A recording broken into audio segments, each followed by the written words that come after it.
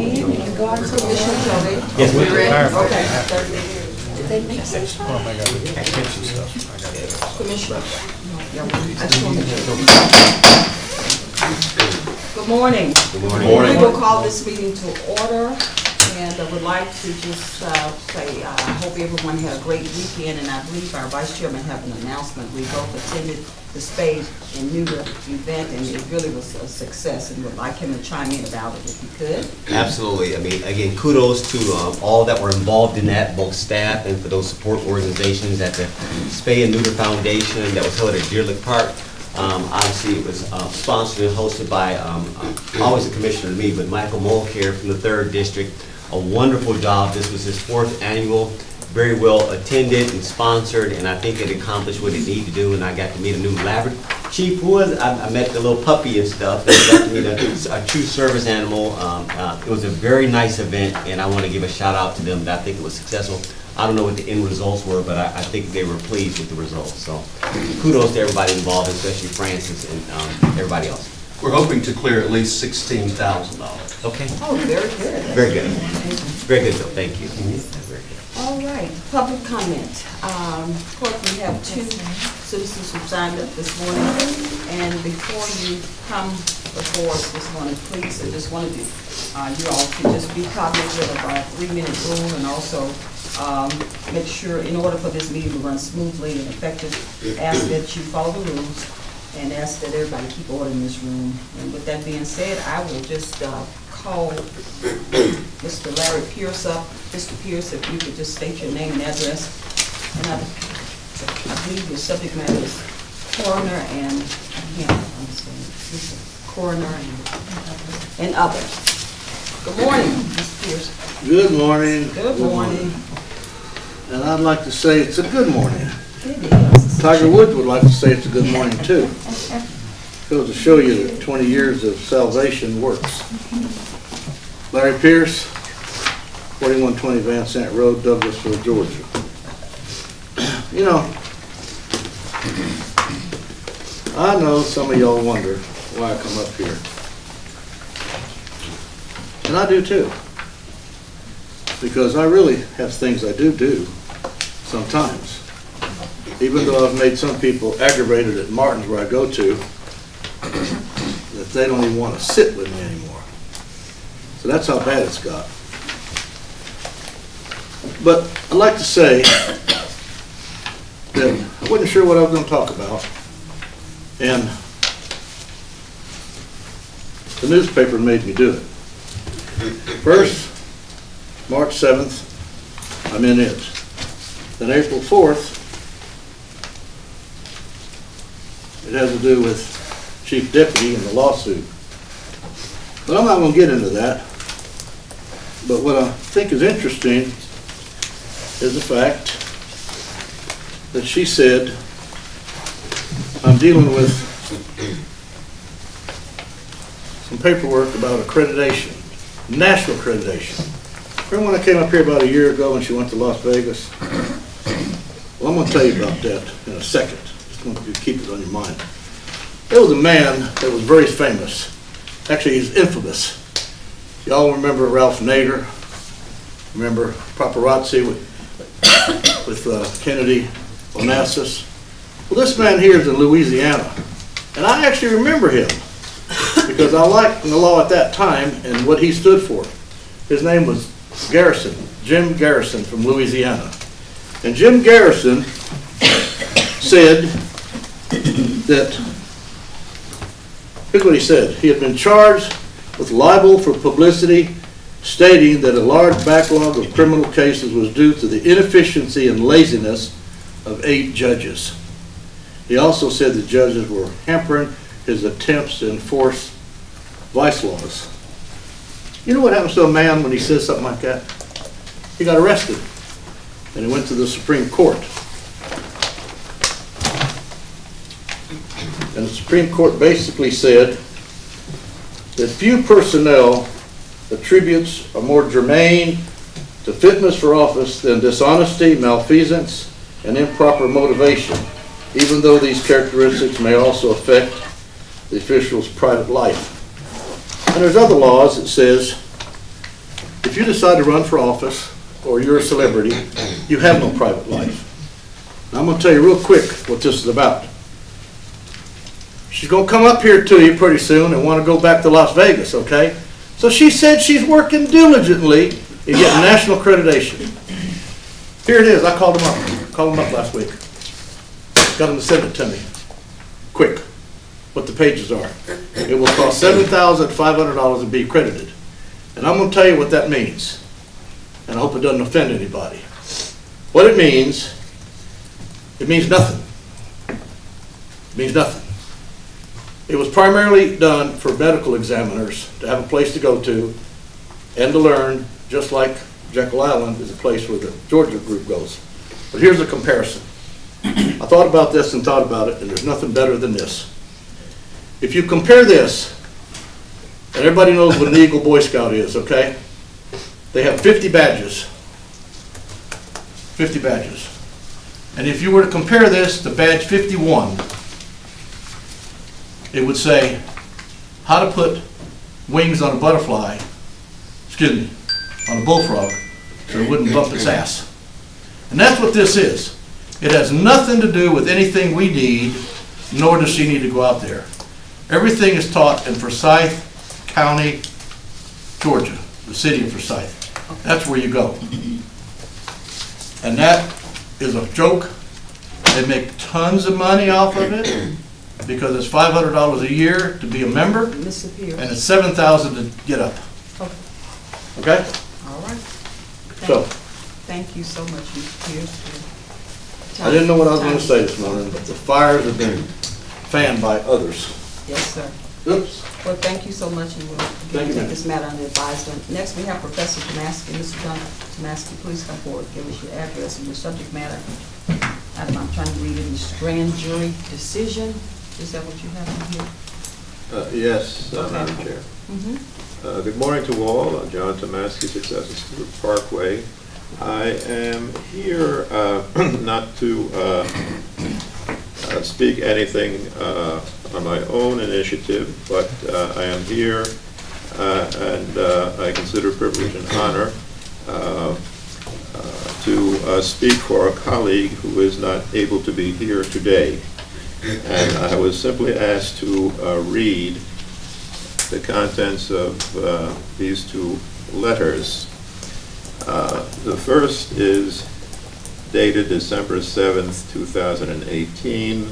It's from the Office of the District Attorney, Douglas Judicial Circuit, addressed to uh, Coroner Renee Godwin. Uh, It uh, goes on, Dear Mrs. Godwin, the Office of the Douglas County District Attorney has received your request pursuant to the Georgia Open Records Act.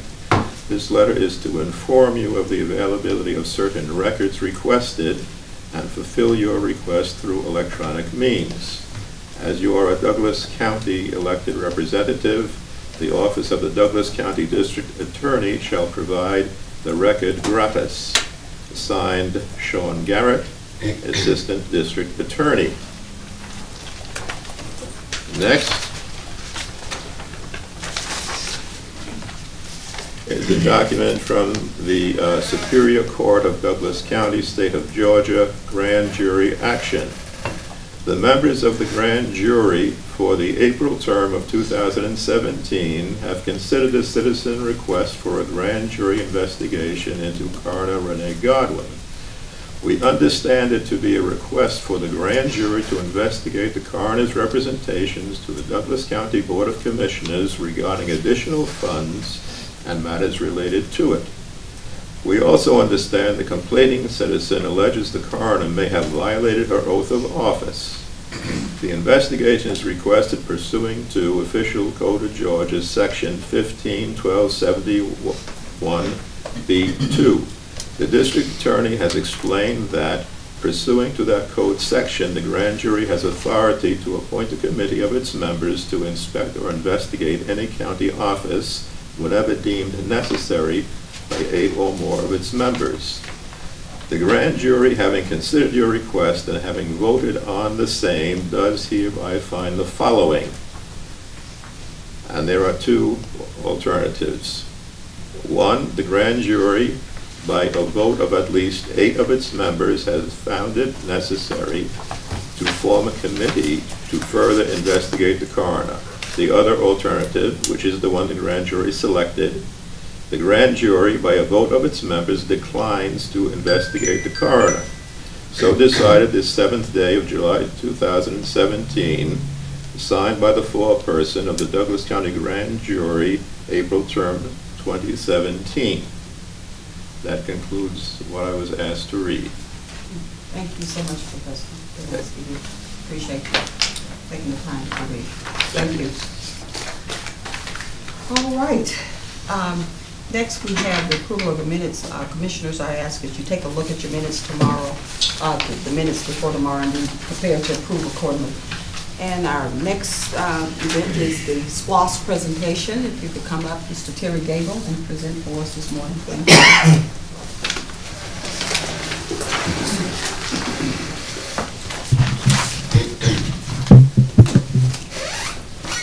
Good morning. Uh, My is Terry Gable with Moreland Altobelli, and I'll be doing the April SPLOST update. So this is, um, obviously, we in April, we've officially um, finished uh, SPLOST Year Two, so we're headed in our third, uh, third year. Uh, Right now, I think as far as revenues, we're um, still showing an or, uh, an overage, so um, we're, we're on track. If I can get my little clicker there.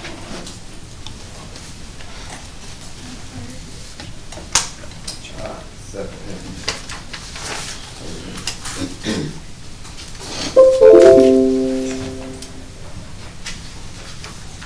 we go. So overall, we're, uh, with both years, we're right at twenty-four million dollars with, uh, uh, expenses that have been, have been invoiced out. That's both year one and two. Uh, fire, uh, looking at each program broken down individually, we're right at thirteen point five, that's been invoiced out to date. And then transportation, seven point two million.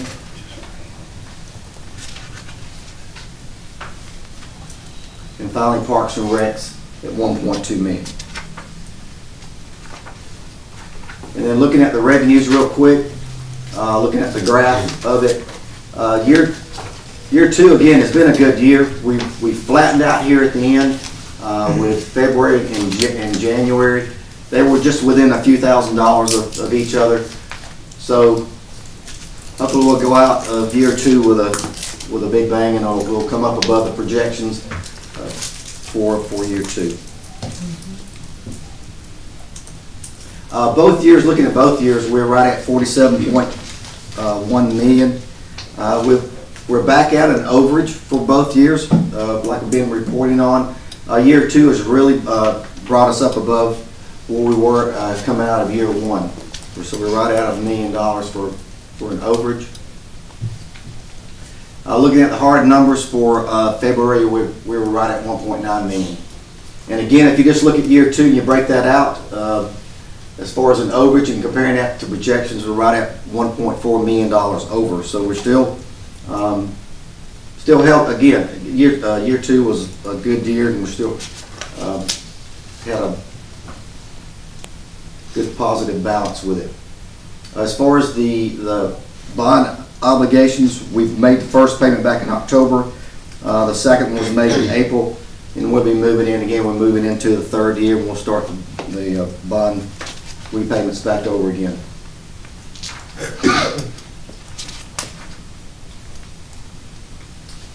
We'll go on to, uh, in the fire, these are just some, the completed projects under the fire department for, uh, for the chief.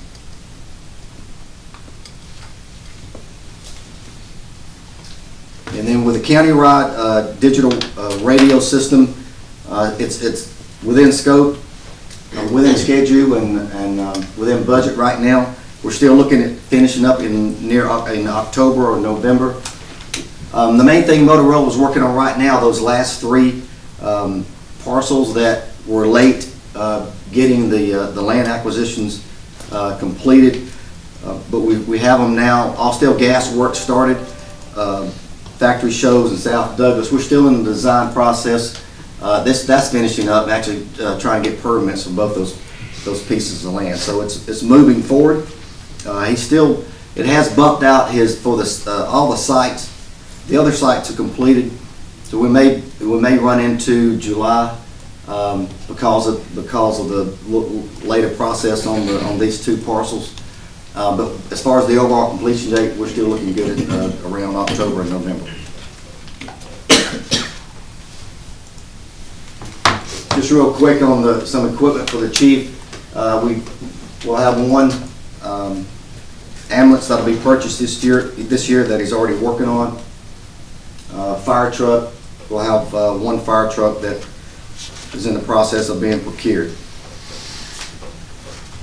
Station three uh, reno- uh, renovations are are winding down. We had a final walkthrough last week with a contractor, so that's uh, nearing completion. He'll, we're in April, it'll be, it'll be finished by the, certainly by the end of the month. Uh, Then we'll be working on some minor, uh, minor items, getting the crews back in and getting the temporary housing, the trailer uh, back to uh, the vendor. So the project's ended up, I think, very nice. This was a shot I took last week. Um, I think that'd be a- something the county be proud of, and I know the crews are ready to get moved back in and get out of that trailer. So staff vehicles, uh, the chief and them will be ordering three trucks this year, and again, that's all being, is in the process of being procured. And with that, any questions on parks? I mean, uh, fire before appointment. Everybody got quiet there for a second. Any questions on fire? Trying to make sure we're awake. Transportation, uh, completed projects for Miguel, mainly resurfacing. Um, And looking at, uh, let me catch up with myself. The resurfacing program, again, we've included the LMIG resurfacing, which are the shorter subdivision roads, and then the, uh, the SPLOST funds. Um, It was, the bids have been received, the recommendation for award is on the, uh, the the agenda for this, this uh, board meeting. Once we get that done and get a notice to proceed, we'll be moving forward with that.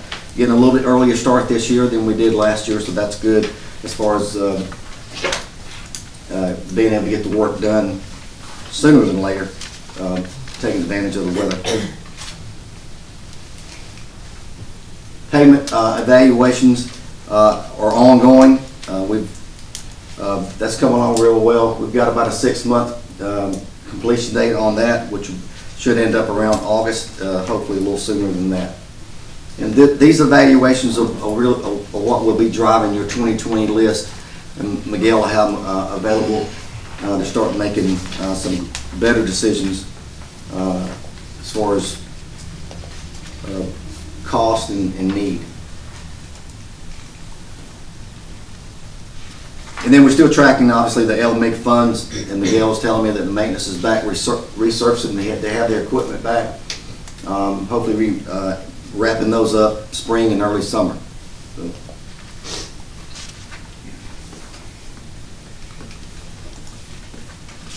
And starting with our intersections, um, which still, Stewart Mill Road, we're still in the design stage with it. Um, I'm hoping that this is gonna be one of the projects we get, uh, get through April into May, that uh, uh, Jacobs will be providing Miguel with a a final set of plans and, um, and right-of-way plans for him to start any right-of-way negotiations that he needs to move forward with.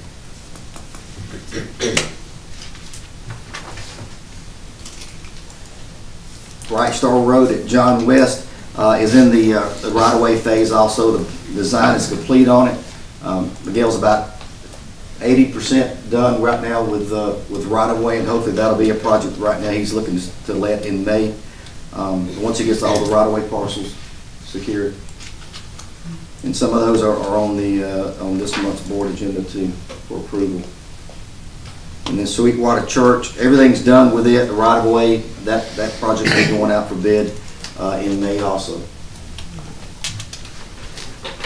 So it's gonna be good to get, um, and it's a good time of the year with the, with, obviously with the work and, and the weather, uh, to get these, some of these projects underway.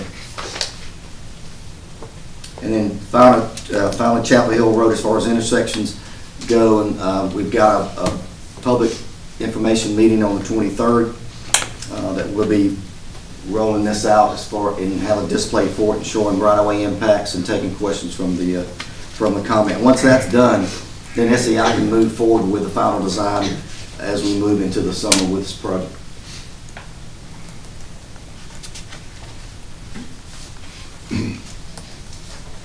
The Highway 5 at Douglas Boulevard, Miguel's got, um, we have a, um, an RFQ out. We had a pre-bid meeting last week for that to uh, select a consultant and a number of consultants to help with the design on this project as well as some other ones. Um, We'll, we'll get this one started. The design on it, since it's just a right turn lane, is not, it should go fairly quickly. Uh, Again, the, the utilities and the right-of-way will be the, the driving factors for this right turn lane project. But the main thing is, is get it, get it designed so we can, we can realize the impacts for it and start setting a schedule for it. And also getting a budget. Post Road Bridge, Dog River, um, still waiting on contractor to complete his, uh, some of the other bridges so he can get moved into Douglas County. Uh, we are still working, Miguel's office still working with trying to secure the one, only one, I think, right away parcel that we're, we're having to obtain on this, on the bridge. Um, The last three are our sidewalk projects. Again, the plans are basically, the plan, plans are done, Miguel has them for review.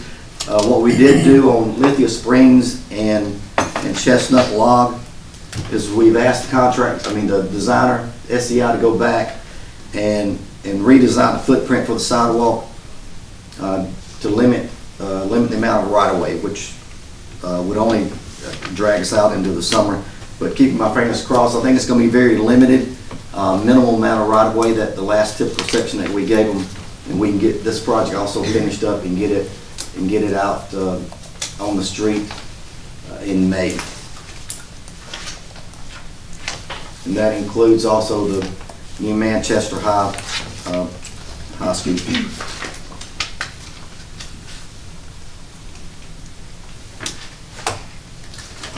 The Whitestone Culvert is a a project that we've added, it was recently let to construction. Um, So we've, we've got a placeholder for it now, we'll, we'll be moving funds um, into this budget to- to uh, carry the, the full budget for the, for the culvert. And we'll- we'll track this as contract, contract gets started and uh, completes this project. And then this is a placeholder for Lee Road widening project. We've got it set in the budget eleven million dollars. Um, and obviously it's driven by the, the, the other portion of the funding. Um, once we get that secured with, with GDOT, we'll, we'll, Miguel's office will kick this project in gear and we'll get it, um, hopefully to letting. You have, we have one comment. uh, Um, under the, uh, the safety funds that we had a million. Mr. Gable, we have one comment from one of the Board of Commissioners for you. Uh, Sure. Vice Chairman Robinson, if you have something. Yeah, yeah, I, I, well, just a, a couple of things, and, and I didn't want you, I didn't want to lose my thought about sidewalks.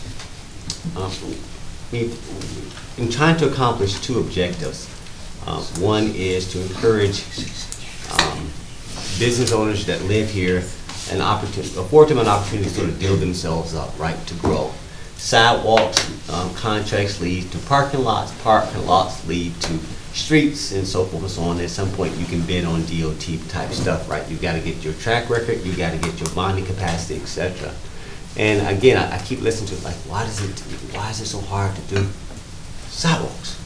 It's okay, I, I get it, but I'm, I'm emphasizing for, for citizens sometimes who are looking at contracts that are being, uh, awarded, uh, and, you know, what is the criteria to get them?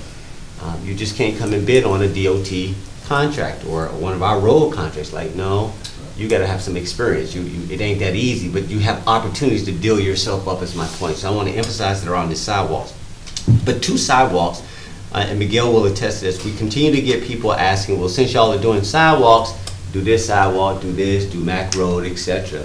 And I would like to, Madam Chair, put a note, a footnote for us to look at um, uh, a saw, a sidewalk strategy. And it may be in place somewhere, I don't know, but come up with a strategy across the county. Uh, Commissioner Mitchell and I had this conversation this morning during our little powwow, which is, okay, let's look at, um, and we- you start with something that's called like um, um, safe, passage of safety, right? From schools to parks, parks to schools. Start with all schools, all parks, and figure out the sidewalk paths for that, and come up with just this, this broader strategy. What is the strategy? How many road miles or sidewalk miles or whatever it's called, or feet, I guess it would be, you know, sidewalk feet, and figure that out, because we, it- it's not gonna go away.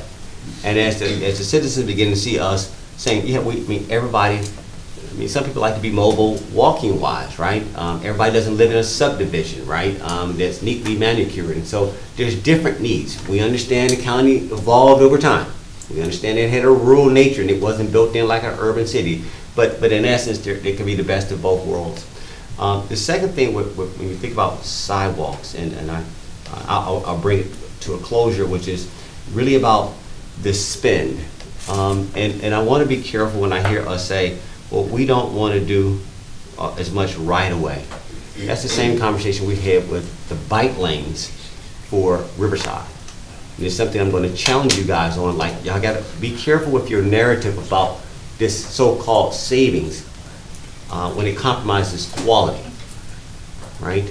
I, I need y'all, like, if you're going to do, if there's a standard for sidewalks, maintain the sidewalks. Don't come in here with this, like, okay, it's supposed to be 21 feet or 21 inches, and it comes at 18 or 17, and then a wheelchair can't get on it, or two people can't walk at the same time, which extends my conversation is that one thing is regarding our, um, um, our transportation, and specifically with our new fixed route system, is that there's an expectation that people should be able to get on and get off safely, safely, not only about uh, American Disability Act, um, things of that nature, but just common sense.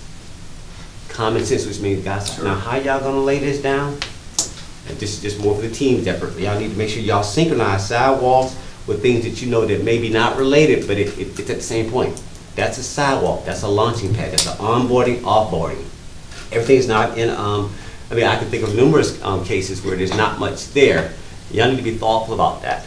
All right, so as I, again, so I'm sitting here, we're doing these one-offs, and I'm like, so I'm challenging somebody, Mark, I'm gonna start with you, to have a bigger picture, that says, okay, now how am I gonna synchronize all these needs? Who's looking at the full needs and pulling all the, this portfolio of need together so that we can get a better understanding of it? So, um, I'm, I, want to just make that comment and that request. And The last thing is, um, and again, I won't take any thunder from my, my colleague regarding signs. Uh, And Madam Chair, you've emphasized this about the need to communicate with the public where it's like, okay, it's coming, it's coming, we're doing a lot of design work, and before you know it, it's gonna be like, boom, it's gonna be stuff all over the place, a lot of disruption, you know, excuse our mess type of thing. And what is our, our sign approach to really let people know it's coming, but also some of the neat stuff I've seen around here, which is, well, I guess it's coming as far as letting people feel their, uh, their tax dollars through, um, I don't know, graphic designs and stuff. So what, what's your approach to that? That's a question. Um, Signs. As far as the signs go, last staff meeting with, we had uh, with Mark and department heads, um, we talked in depth about the signs and making sure everybody understood the, the route for, uh, how, the expenses for them, and that to move forward with its installing the little portable signs that you'll see out on all the projects, that being from resurfacing the fire stations to what goes on the back of the, some of the fire equipment, to make the public fully aware of any projects that are being spent with SPLOST dollars. so- You- said expense? I mean, what are you saying? Expense for the signs, it, it- it, But inherently in there, we gotta communicate to the public, right? So we have a concern that there's not enough money and all that splost? What, do- what are y'all, what are y'all saying? That we've gotta come before the Board of Commissioners, to determine, like, how do you not tell the public that Lee Road's about to be disrupted for the next three weeks? Oh, we are. No, I mean, and this is just more, it's not, it's not critical. It's more of a, why does that matter? Is that not already part of the, isn't that already part of it? sure, yeah, yes, sir. Okay. I mean, it, it is something that, for example, I'll, use with my town hall, it's like, well, where are my signs? And, and we have an in, an in-house print shop, and of course, I had to nudge staff, like, oh, my bad, okay, let me get on this, and they got out within twenty-four hours. I guess I'm, I'm- I'm, using it as a moment like, guys, don't forget, you gotta communicate with the, the public. You can't be in a vacuum and we're so into our PowerPoints and all this stuff and look what we're doing. The public has no idea. And, and then we drop this on them. And so I think there's a courtesy and it shouldn't have to be a business decision to say, that should already be baked in. I mean, it's enough money and hundred sixty million dollars for us to come up with a few signs that we gotta already have a print shop in-house that we can do that. So it's little, that's a delay that's not necessary. Make it a checklist, look at all these projects and, I mean, I'll, I'll, I'll defer that, but you, I think y'all get my point. Come on, guys, it's about to get busy for the next three years, three, four, and five. And it's gonna hit the public and where they they still, even though they're spending their money, they still wanna, you gotta let them know that it's coming. And it's just courtesy. I'm good. I'm good. Thank you. You're good. Commissioner Mitchell? you I- I'll just add, and I think we had the conversation, and I- and I think you- you get where this is coming from, because we've actually had the conversation early this morning, yeah. that this conversation has been kind of ongoing, when that's something we should have, and I don't know, Mark, you might want to kind of adhere to this, that that should have been something that should have been done day one, to say, this is where your SPLOST dollars, are, this is kind of where the monies are, this is kind of how things are moving, and here are the projects, and so on, so, but it's, it's the timing, as we talked about this morning. It's critical. We've had the conversation many, maybe over a year ago, but we still haven't kind of executed that outside of, we know we gotta look at the expense. We gotta look at, but I think that expense should be nominal compared to the projects that we're doing, so. yeah. So if, we- if we can, Oh, and it's, the plan's in place. And I, I'm- I know we've already been putting signs up uh, on certain projects. I I don't know if there's anything that's holding The it staff was directed in the beginning, every project we have, we need splash signs up at every single Okay. location. so I guess maybe I'm missing that, that I I haven't seen those. But if you are, if you're doing that, that's kind of what we were talking about, like. They're supposed to be. Oh, okay, so that, Now- I haven't missed. Well, there's, a- but there's not, there's only, there's not, there's not a lot of projects going on yet. A lot of them are still in design, which, so there's no signs out on those projects yet. Got it, so like the, the fire station, Well, no, fire station, yeah, there should have been signs out. so there were none, that I don't recall seeing. I'm not sure, I don't remember seeing them. No, okay, right. There's I not don't- left, right. Exactly, so that's what I'm getting at. So it- I, I think we're, we're, the conversation is, what are we waiting on? And that, that's such a small expense to me for the projects that's going on. I totally agree. Yeah, so let, let's just kind of move on that versus coming back to a meeting for us to approve how we market the SPLOST dollars as to how it's being spent. Okay. Yep. Sure. I, I get that. And and of course, the other thing we've talked about are the the renderings for the the verticals Yes, uh, that the commissioner uh, mentioned, and those will be around the building. yes. And those will be at the public, any public information meetings that, that will- when we make sure we have them available. Um, renderings Be a good, of- another good message. The rendering of, so you might want to make sure you share. The, the- well, the one in the background over there is the, the uh, multipurpose rec center. And we have one, another rendering for the, the new senior center. Right, right, so those types of renderings, so at least everybody, the, the, uh, the Bill Arp and the, um, Fair Play Fair play. we ones have- are already we have done. those smaller Yeah. projects, but we'll have those also. Right, so each commissioner, if they so choose at their meetings, if they're speaking from a Parks and Rec perspective, they can kind of take these renderings and say, hey, this is kind of what things will look like, especially when you have those questions. And I think it's just a good marketing tool to show, show how great we're doing with the SPLOST dollars. Right. So, okay, I get it. Thank you, Commissioner. Um, I just want to just chime in a little bit, Mark, on, on, Lee Road, uh, our plan is to, the uh, resurfacing project is to put some signs out in advance, because what I want to do is make sure, and also I know you as well, Vice Chairman, and all our commissioners want to make sure the citizens can wrap their minds around it, because it's going to inconvenience them somewhat, and their lives will change temporarily. So, you know, they're excited about the road coming up, but we definitely need to have some signs blinking now. I, I would envision some out there now, just to count, so they can be prepped for this. Start getting ready. And I've already made it clear to all the citizens, I said, this is not a tooth filling, this is a root canal. Now, it's gonna be big, and we wanna make sure everybody understands that. So if we can get some flashing signs, and- and Mark is working on that for me, so I'll leave it alone. Yeah. All right, so Very good. go, go for it. Um, These next three, if, uh, if you remember, we've got a million dollars for safety, a safety category. So the next three projects, we've, uh, we've got placeholders in there for. The first one's street lights It will be at various locations in the county. Again, the budget's just a placeholder for it. And once we get a more defined scope on those, we'll, uh, on all three of these, we'll start working uh, into the budgets. Uh, This one's a Highway 92 at Mount Vernon uh, for a traffic signal. Work's already in, in place with that. Mark and Miguel work, working with GDOT to get, uh, to get a badly needed signal out at, um, at Mount Vernon. And then the last one is the Highway 92 at Riverside Parkway improvements. Um, Again, we'll need to develop a scope here and know exactly what, uh, what we can do and what GDOT will allow uh, to be done at that intersection to improve the safety. So three important uh, safety projects there we- that we've uh, just added. And with that, we'll we'll move into, Terry, We have Yes. one, one one, comment. one question, this is, uh, at, um, while we recognize that we reappropriated money from the, um, SR ninety-two Annewakee up in Fairburn accordingly, it- it should have been done that way, but, um, but there was still the need to deal with the turn lane, right? We knew we didn't need to, um, redirect that whole intersection, but we need to do something with it. Um, A lot of comments we've gotten, I've been working with City Councilman Richard Siegel, who, obviously, most of Riverside is primarily in the city. Um, And and so I've gotten a, a- series of um, sets of emails where people have weighed in saying they have this need. Um, Also, we do, we are aware that there are certain pending economic development decisions that are being made based on, like, that light, right? Or some type of um, um, uh, dealing with congestion right there. So this is not just about existing, it's about stuff that's pending that says, well, we don't want to drop this amount of new homes or new units in this area that um, um, obviously can already handle what it currently has. So that's an important um, project. It's not only just impacting us, it's impacting our other jurisdiction.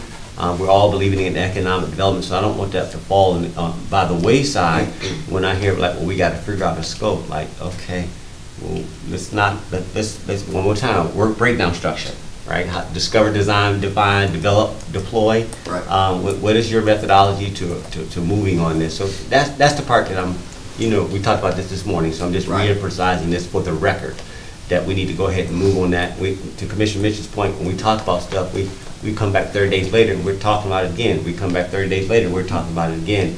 And so we'd like to see a little bit more effort on that one, at least discovery of what it could be, Right. okay? okay. Thank you. I yield. Okay. And also, before we go uh, forward, I would just like to publicly thank uh, Sheriff Pounds and his command staff for working with us Working on that that 92 and Mount Vernon uh, intersection, because that, they stepped up to the plate. They're providing, um, uh, should I say, traffic control from uh, 8 o'clock in the morning till uh, 8:45, which really helps a lot. And I understand, just speaking to some of our staff members and some of the citizens at large, said that the traffic is definitely moving in that time of morning until we can get this light up. So again, thank you, Sheriff Pounds and your command staff, and also your deputies that's out there directing traffic. I yield back to you, Sure. okay? Okay. Uh, Completed projects for, for parks. And the first one uh, is Boundary Waters concession building. I got a text from the contractor this morning. He's making good progress, and we're, we're gonna complete this in May. Uh, and there's the last shot I took of it last week. Uh, some colors starting to come together with the roof and, um, but he came in this morning with the rain yesterday. It's, it's, it's full of water again. Uh, so he has battled the, the weather this, this year, or this winter, uh, as, as everyone else too. So, but this project's moving along. He's, he's managed to get it up. Uh, we've, we've finally got power out there with Greystone. Um, so again, we're schedule-wise, we're, we're, I think we're on schedule to complete it, uh, in May if he'll, uh, the main thing he needs to work on now, obviously, is trying to get the landscaping in place and some of the sidewalk in. Um, and you've got some change orders uh, on the agenda this meeting to, to approve for that. And what, uh, adjacent to that is the soccer field lighting. Again, we, we've, we've got power in the building, so that, that should move, um, West Georgia lighting along to get the power on the soccer field lights and we can get those tested and, and get those up and running for the kids out here. Uh, Deer tennis courts, uh, on the budget, I mean, on the uh, agenda for this month is, uh, we broke out the demo work for the, for the park, and we'll go ahead and get started with that. Um, integrated construction, Uh, Once that's approved, we'll get them, get them a, a purchase order and let them get started. We're in the final design stage for the, uh, for the tennis courts and getting a, a cost estimate developed, and we'll be letting this project also in, in May.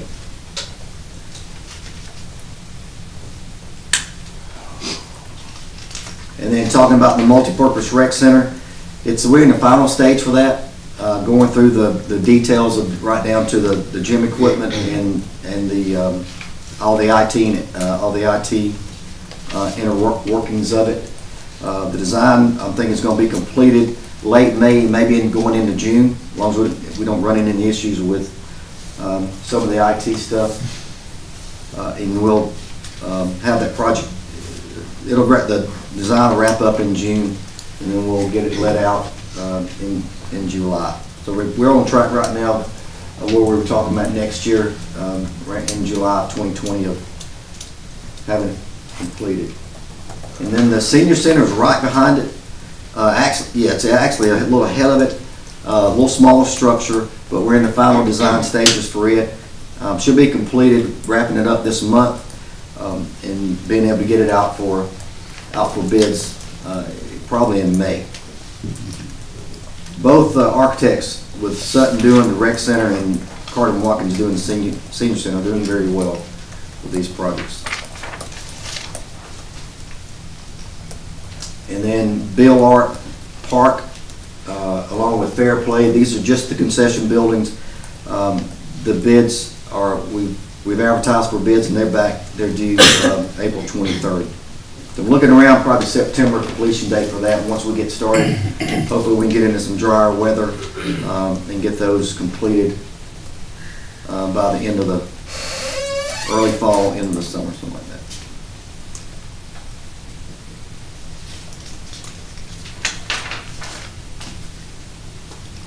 And the, there's the fair play, uh, lights.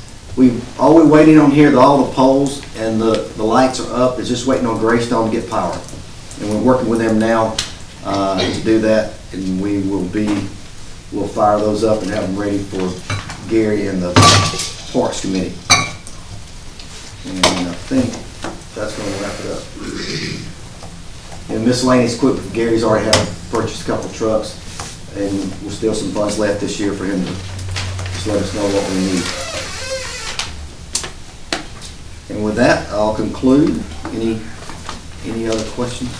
Any questions or comments, uh, Vice Chairman Just, Robinson? just broadly, just for the public, and sometime it, it- then again, I- I'll, I'll use this as a data point going to my town hall on Wednesday.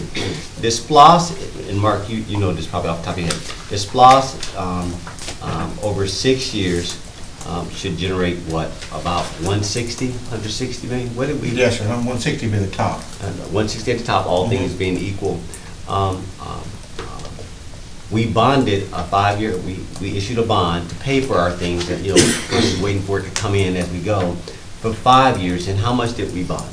Just 60 or 70? Seventy-five total, fifty was the county. 60. Sixty was the county, sixty was the county. No, it was 60 total. 60 total, the 40, split 40-20. Okay. 40 county, 20 city. That, that accurate?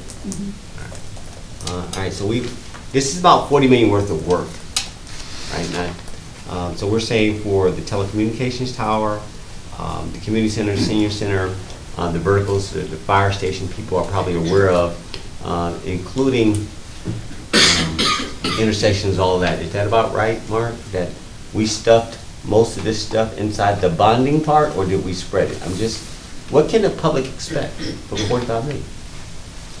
Um, as far, we haven't even spent all the bond money yet. So right now, I mean, so as far as what's included and what's not, it's just first come, first served, which, would- which would go to the bond money first. Okay. And so Public needs to just be aware that uh, while we have a list, so everything that's on the list that we talk about, and just, and I'll end it with this, everything that's on the so-called list, bond money or SPLOST over time, what fits in that list when we get to it? I don't understand the question. On our SPLOST list, right? Mhm. All right, there's a certain amount of money that we're going to generate, and then there's a certain amount that this is going to cost. Does it all fit? Everything is on that list. Will we get to it within the bond money, or will we have to catch up with some of that with the pay-go later? That's- There will be things on the list that neither will pay for, we won't get to. There you go. That's all I'm trying to, you know, as we're talking, we're talking about, we're adding to the list, and, and and Commissioner Mitchell, you know where I'm going with this, it's just, we're setting expectations, that's all. Uh, it's not unlimited, it's not a, a perpetual money that we'll have, it's like at some point, you know, we're gonna have to cut this off. Yes. And, and- be appropriate, since it wasn't part of the referendum, it's sort of out there, and I just wanna make sure I'm clear as I communicate to my citizens about like, okay, I'm just gonna go ahead and tell you, I don't think we're gonna make that. And, and, and and that's my call, that's me as an elected official, and it's not about staff, I just wanted to make sure, I wanted to hear for the record, Madam Chair, we're not gonna get to everything. And we've told the public all along, we, we've showed where that line is. Now, the line moves It moves. depending on how much, you know, revenues are, and depends on how much these projects come in over, um, Understood? since construction costs are up. So it's moving up and down, and we're tracking that. Um, but yes, sir, there are things on the list that we will not get to. No, That's it, reprioritization and shifts, and which is all allowed by way of process, but I just want to make sure we're saying it, because, uh, again, we're already going into our third year. Um, it's moving, and so we're still waiting to see stuff pop up, right? We're waiting for the little thing to pop up to see it, but that's all, we just want to emphasize, follow the money. I'm good, Madam Chair, thank you. Okay, thank you. Just one, just for the record, forty-five, it was around forty-five million for the county, twenty-one million for the city. And as of, um, today, we've spent, we've got about twenty-three, five, twenty-three million, five hundred left for county bond proceeds, but that also includes interest, earning interest on those bond pre- proceeds. And the city has thirteen point eight million remaining. Okay. All right, so we got a little, little something to work with right now, but all of that probably is already earmarked for some type of. Mm-hmm. Madam Chair, just because you mentioned this about being in the third year, besides the subcategory of arbitrage rules, you know, you have to reasonably intend to, to construct it, to spend the forty-five million we got within the, or eighty-five percent of the forty-five million within the first three years. Mm-hmm. With some other subcategories, I don't want to go into technicalities in order to avoid arbitrage or taxation on the interest earned above the investment. So I, you know, we need to be, We are. caught- we're on that, I'm sure. Every year, we have that evaluated. Okay, That was all. Thank you. me. all right, thank you. Commissioner Mitchell, And I'll just you be, have something? for clarity, the bond is what we pay first anyway. Then we look at everything else. So, um, there will be, or may be, projects that fall below the line, as we all keep speaking of. Um, And the adjustment will go accordingly, just based on the fact of what we collect and how we collect and, you know, come year five, six, where we're looking at. So, yeah, there will be, a there may be some that, well, at the rate we're collecting, we could be to the good of adding a project below the line if, Correct. if we continue to spend, meaning those citizens that go and spend that, that, uh, point of sale, right, that will, will end up doing well. But at the end of the day, you, there's no magic number or magic, uh, set to this. It's one of those, the bond is paid first. Whatever there is thereafter, we deal with, and deal with it accordingly when it comes to the cities and, uh, and the county's portion of what we deal with, so. And then the interest as well, so. I think that's a good, there's a, a good to the end of all of this, so. Sure. When you say that, I mean, am I? Yeah, no, that's correct. Okay. And that's, that's the important, importance of the, uh, this- the uh, priority list, Mhm. having, and tracking the funds and, um, and having risk and- and built into it. Right. Knowing, you know, based on what the, the revenues do over, the- over the life of the program. Right, and, and, and there are some savings in categories like the, the towers and the radio Radio system. Right now, there appear to be as such, but if there isn't, based on the mere fact of, who knows, by the time we get done with the project, there could be, the possibilities are great that there will be a savings, but we can't, we won't know that until we actually complete the project. Right. But from where we sit now, from going from sixteen mil to fifteen mil, and now we're somewhere closer to, uh, uh, the fifteen mil now than we ever have been, but that's still somewhat of a saving based on what we projected. Right.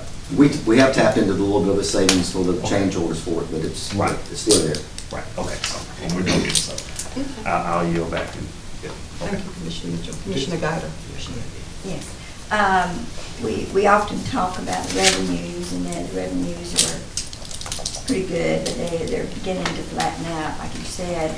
Um, But on the estimated cost of the projects that we have already started, uh, or we have an estimate on what it's gonna finish, but we also had an estimate of going into it, our estimate. How much have we exceeded that?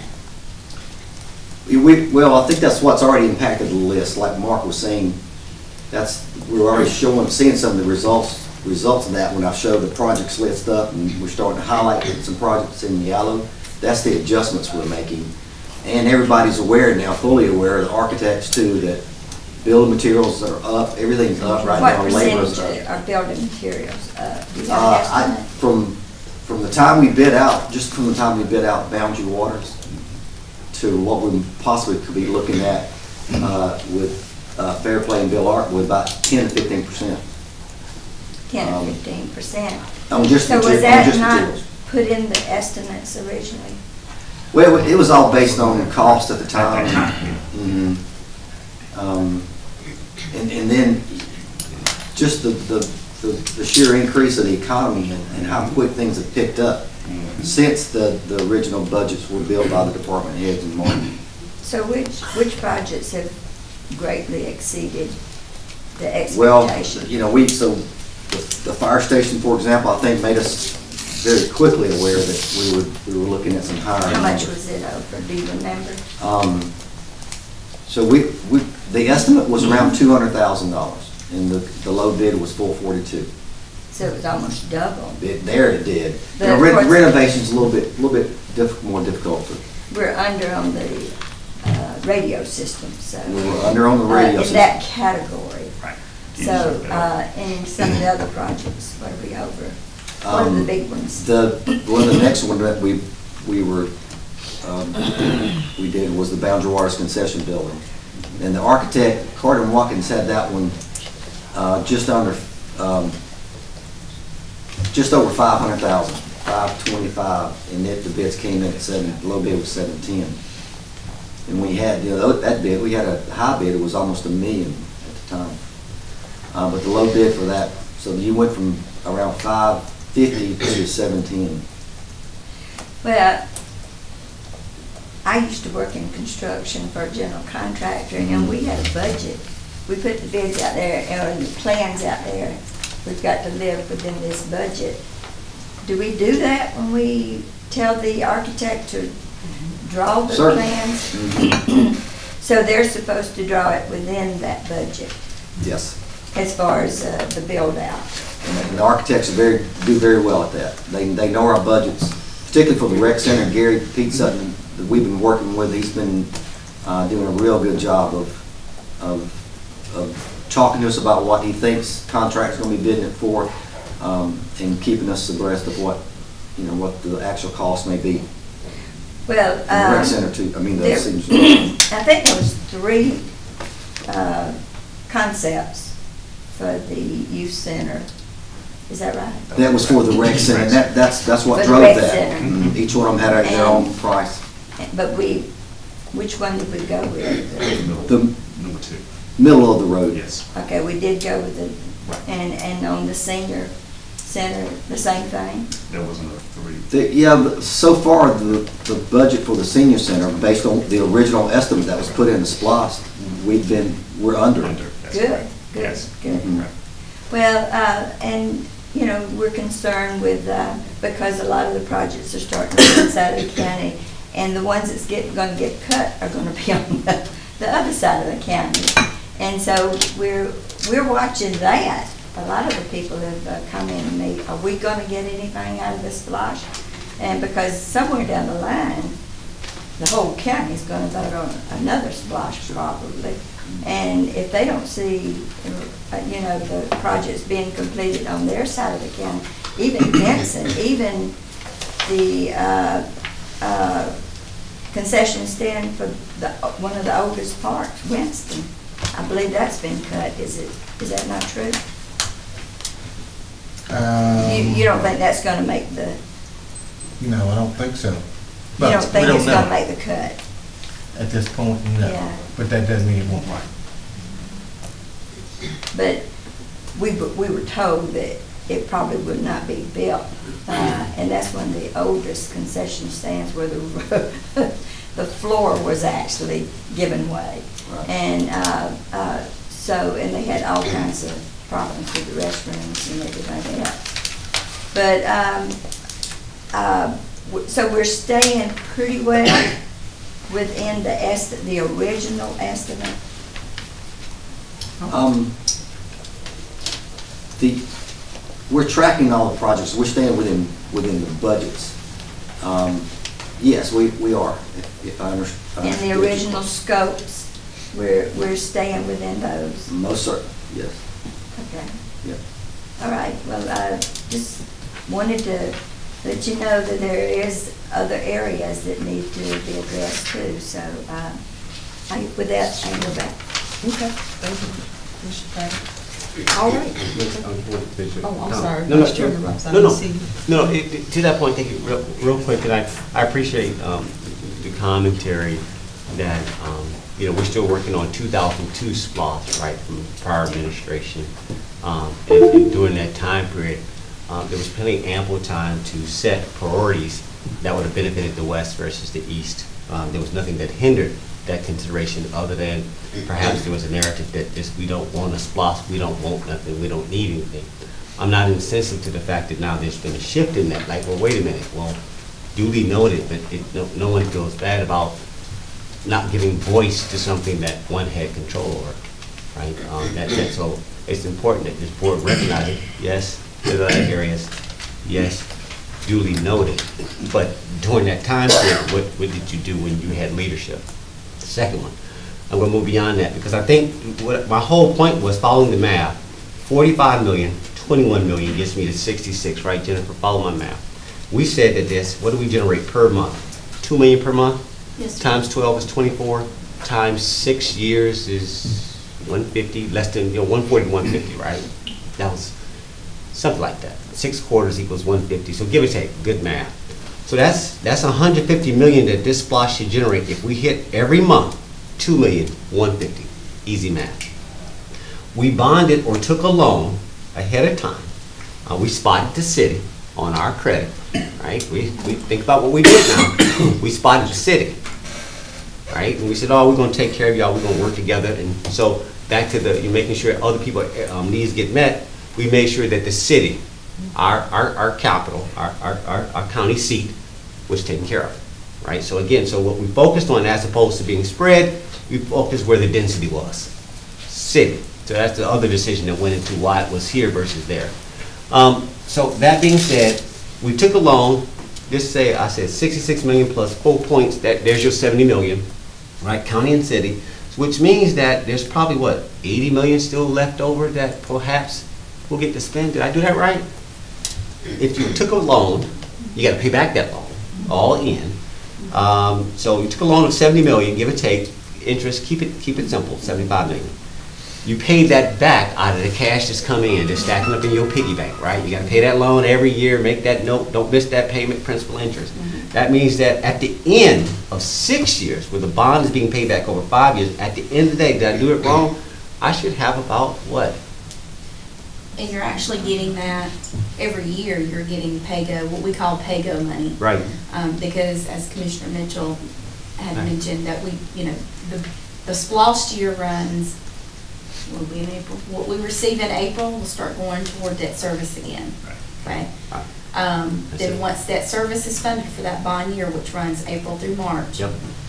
Once that debt service is funded for that year, say if it takes seven months Right. to fund it.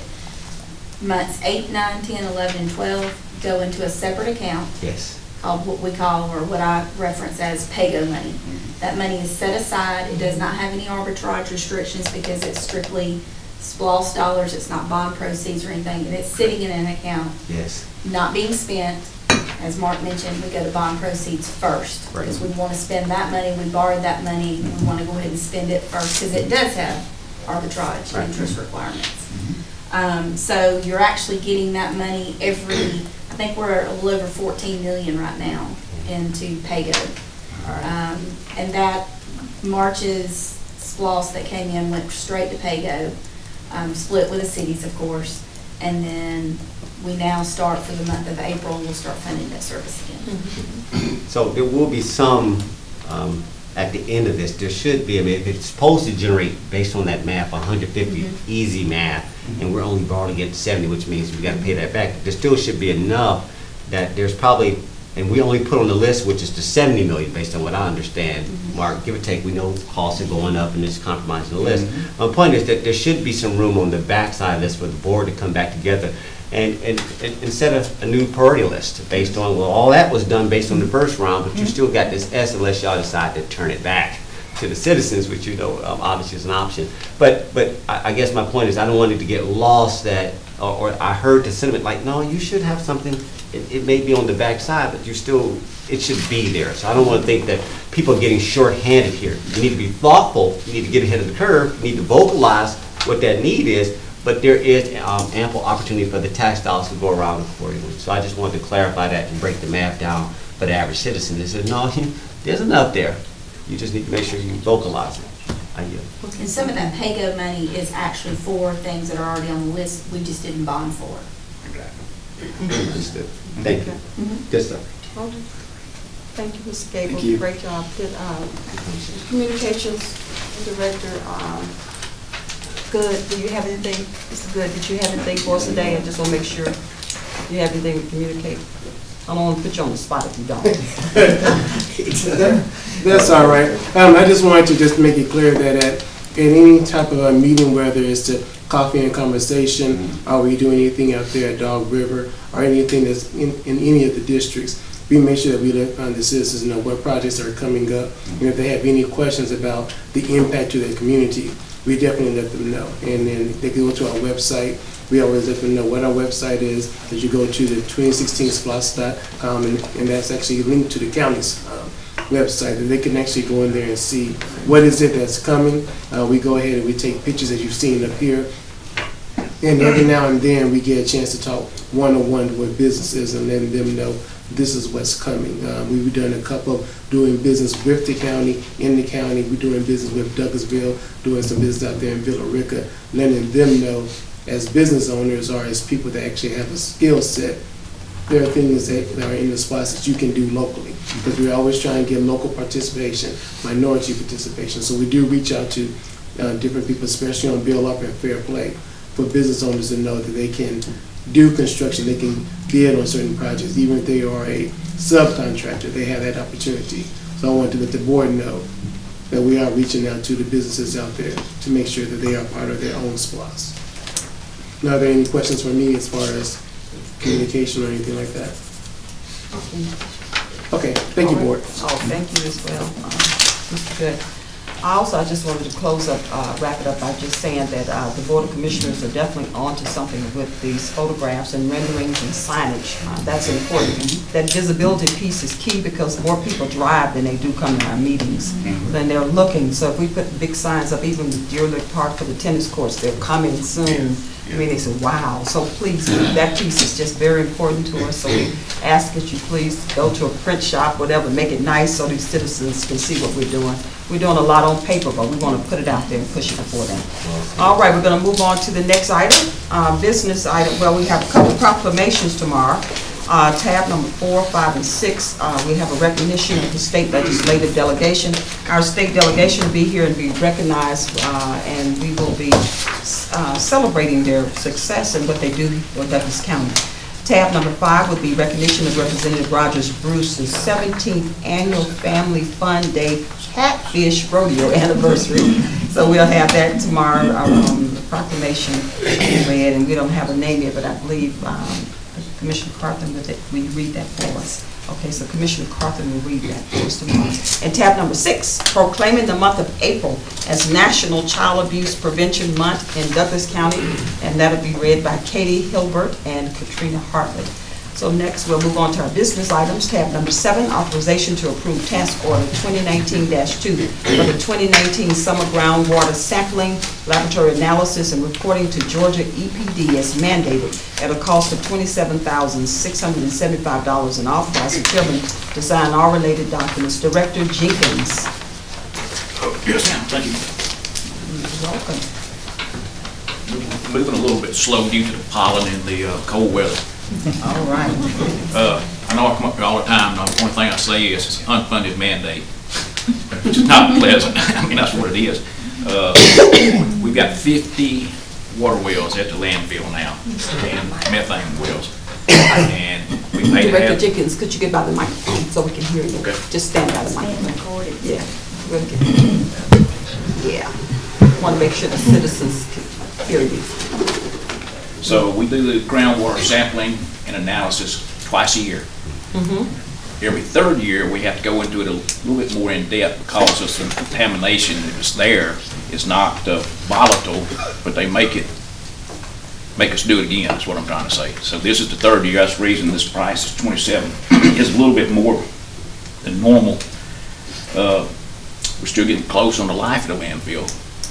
Eight, eight years, we got a lot of options out there that we've not really got to yet, but we're gonna have to. Uh, Transfer station, you know the deal, we've seen it. Uh, Temporary transfer station's now 25 years old. So it was kind of, uh, the county elected not to do a line landfill. So we did the C and D landfill, and then we transferred out household waste. That's who the contract with the public is, and coincidentally, it goes to Polk County, which is a waste industries facility. So they just, uh, uh, that's it, on twenty-seven thousand dollars, and then the other one is remaining capacity, which that's how you keep up, how much life you got left in the landfill. Yeah, I think it was fourteen hundred dollars. $1,400, How much? Fourteen hundred. fourteen hundred. And, uh, these things just keep rolling around. We've already had one consultant unfunded mandate, which was the five-year plan review. So it's happening as we speak. Um, Just gotta make up our mind, you know, what direction we're going in in the future. And Pauline's going to do the same thing. Okay. Uh, Just the cost of being in Metro Atlanta. Any questions or clarification? Any questions or board comments, Vice Chairman Ross? Yeah, I don't, uh, and again, I, I, I know that the landfill is probably not the, the- most popular um, um, function that um, obviously um, government provides to the citizens, but it's very, very important, right? It, it, it's, it's, it's important, uh, no different than the coroner and what it provides, it's, it's important. Uh, That being said, um, uh, it's something that we have to proactively think through. There is a life cycle. I know that's on our long-term capital plan. We got that major decision. You bought us some time, new pricing, you and Madam Chairperson, y'all work together. Very pleased with that, that, that approach that got us a little bit more time, but we need to get there. Uh, The cost that it takes to do this sampling is, is sort of, Madam Chair, is day in the life. You got it, you gotta go sample it, you gotta go do it. I don't see any, I don't have a problem with the cost associated with this. It may be a little bit more, but you, you gotta go, you, you need to know the truth. Go sample it, see what it is, and hopefully it's not contaminated, but whatever it is, it is what it is, but you can't run from reality. So I appreciate that you're consistent about bringing it forward. You're always delicate in how you say it, but it's like, it ain't like we're not gonna do it. It's environmental, and it's obviously a mandate, so I just wanna give you assurance, I appreciate you coming forward. Thank you so much. We do 600 transactions on Saturday at the landfill. Wow. That's quite. And that's why you'll see the cars backed up on Seal Mountain Road both ways. Oh, Okay, 600. six hundred, that's quite a bit. Yep. Okay, um, any questions again? Okay, thank you so much. Yes, ma'am. uh, Thank you. Director Jenkins. Next, we'll move on, because we covered tab seven, eight, we'll move on to tab number nine, authorization to approve a Greystone Power right-of-way easement needed in order to install a transformer for the new sport lighting at Fair, Fair Play Park, and authorize the chairman to sign all related documents. Director Dukes, Good morning. good morning. Yes, ma'am, this is just to give uh, Greystone the ability to set a transformer so we can get power to the new lights at the ball fields at Fairplay. Okay, any self-explanatory, anything from the board? Okay, I'll move on to tab number nine, um, I'm sorry, tab number ten, authorization to approve integrated constructions change order number three and number four at a total cost of eighteen thousand seven hundred eighty-three dollars and thirty-six cents for the Boundary Water Concession Stand Press Box Construction as recommended by the Parks and Recreation Oversight Committee and authorize the chairman to sign all related documents. Director Duke. Yes, ma'am, this is a change order necessary to meet the ADA requirements for the building. Uh, Due to the grade, they had to extend the sidewalk, and they also had to put railings around the sidewalk. And uh, we also widened the entry walkway from the parking lot to the building. So that's the, that's the changes. Okay. Any questions from the board? Vice Chairman Yeah, I- I'm encouraged to hear that, and I, I I do appreciate the comments. Um, I was talking to Commissioner Mitchell earlier um, about the need to be anticipatory, and the whole point of the ADA, um, um, and, and- and doing it the right way uh, on the front side. And yes, there may be a little bit more cost, but you have to be able to accommodate all citizens, and it's not just one flavor. So uh, I'm glad you guys are on that, um, and, and making sure that hopefully going forward, we'll, we'll put that design that design element in so that we don't have to do a change order later for everything else that's going forward. Does that make sense? Yes. All right. Thank you. Okay, thank you. Commissioner Guider? Yes, uh, thank you. Uh, Did not the architect know that they would have to ad- adhere to the Disabilities Act? I think there was some change in the elevation when they, when they uh, started the construction. Uh, And that's what caused the uh, sidewalk to be extended. Because you said something about being widened. That was the, uh, I caught that actually, the uh, sidewalk was not wide enough. We have so many people coming and going. uh, When they designed the sidewalk from the parking lot to the building, it wasn't wide enough for mommies and daddies to be be dragging Junior back and forth from and to the ball fields. So uh, we extended that, I believe, to 10 feet wide, so people wouldn't be walking and trampling on the grass. Good stuff. Well, um, I just know, and I don't know what kind of recourse we have if there's an architectural problem. And, because we pay to have an architect, certified architect, to do these plans. And if they mess up somewhere, do we have any kind of recourse to go back to them and say, hey, you, you forgot to have this wide enough or whatever, or I'd have to defer to Mr. Peacock on that one. Well, the question of the sidewalk is that we made the decision, they, they designed it to a standard, and we made the decision, the county made the decision to widen for the benefit of the citizens. So they, they designed it to a standard, which was appropriate, and we made the decision to actually increase the size. Well, I know that, but they, all architects know what the code, and, you know, whether it's the Disabilities Act, or whether it's a local code, or whatever. Well, they, they take the, I'm sorry. And they're supposed to draw that into the plans. As Director uh, Duke said, though, the, there was a change in the actual layout, the elevation, the, the grade of the property that again made it necessary to make changes to the design. So they don't have the topo when they do that.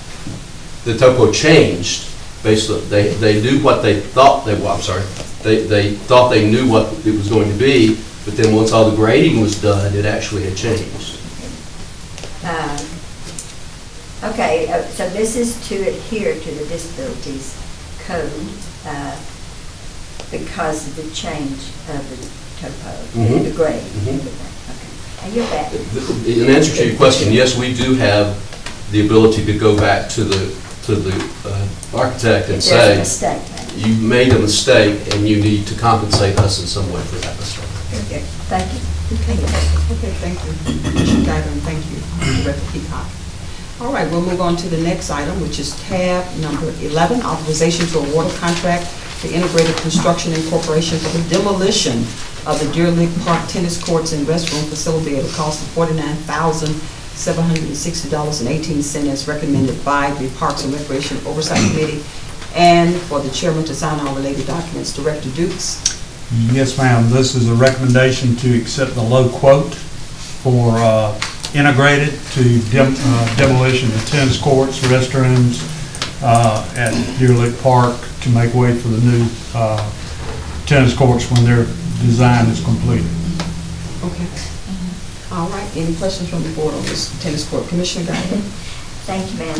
Uh, Gary, uh, since this is, uh, uh, construction and demolition material, does it go to our landfill? I believe that's where we're taking it, yes. And there's no way that we can just waive those fees to reduce the cost? That's over my pay grade there. waiving the Landfill's an fee. enterprise fund. It's an enterprise, So- but still, we don't, we have to control everything that is spent out there. Can we not control the permits or the, the dumping fees? I just wondered. I don't know. Normally what happens is, uh, whichever department dumps out there, they pay for, they pay the enterprise. So it's kind of government paying government. Yeah, it government. is, but it's two separate funds, and if it was, if it was all the same, it really wouldn't matter, but it is two separate funds.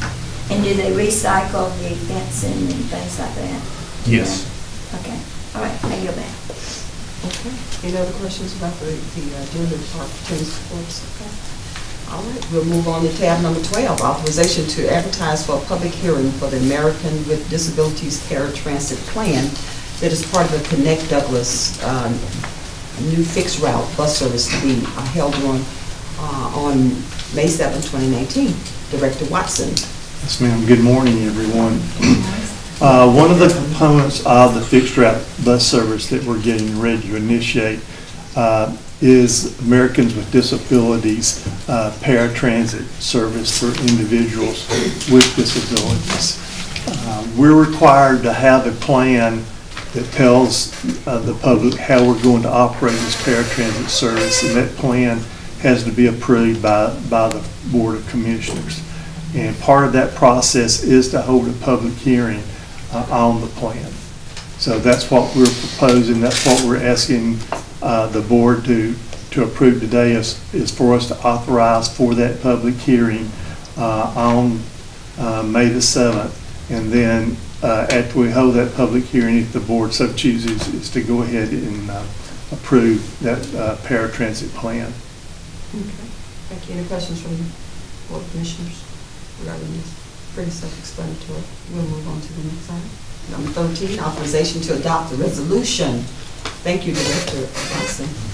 All right, tab number 13, authorization to uh, adopt the resolution and award the bid for tax anticipation note 2 blank for an annual rate of a certain percentage, and authorize the finance director to invest the proceeds in Georgia Fund 1 along with the accompanying uh, uh, resolution of Georgia Fund 1, and authorize the chairman to sign all related documents pending final legal review. Director Peacocks? Yes, ma'am, I'm going to defer to Director Hall. Okay. Uh, Good morning, still. Um, we had a bid opening Friday at ten AM. Uh, we had four responses. Uh, JP Morgan Chase, First Citizens, SunTrust, and PNC. Uh, the lowest bid was PNC, PNC at two point two five percent, which I was pleasantly surprised. Last year, we borrowed at two point one six percent. So the interest rate on borrowing didn't go up quite as high as the interest rate on investing. Uh, So um, we're asking uh, two things within this agenda item. Uh, Well, let me tell you what the bids were. They were very competitive. Um, JP Morgan Chase was 2.45%, First Citizens Bank was 2.35%, SunTrust was 2.31%, and PNC, of course, was the 2.25%.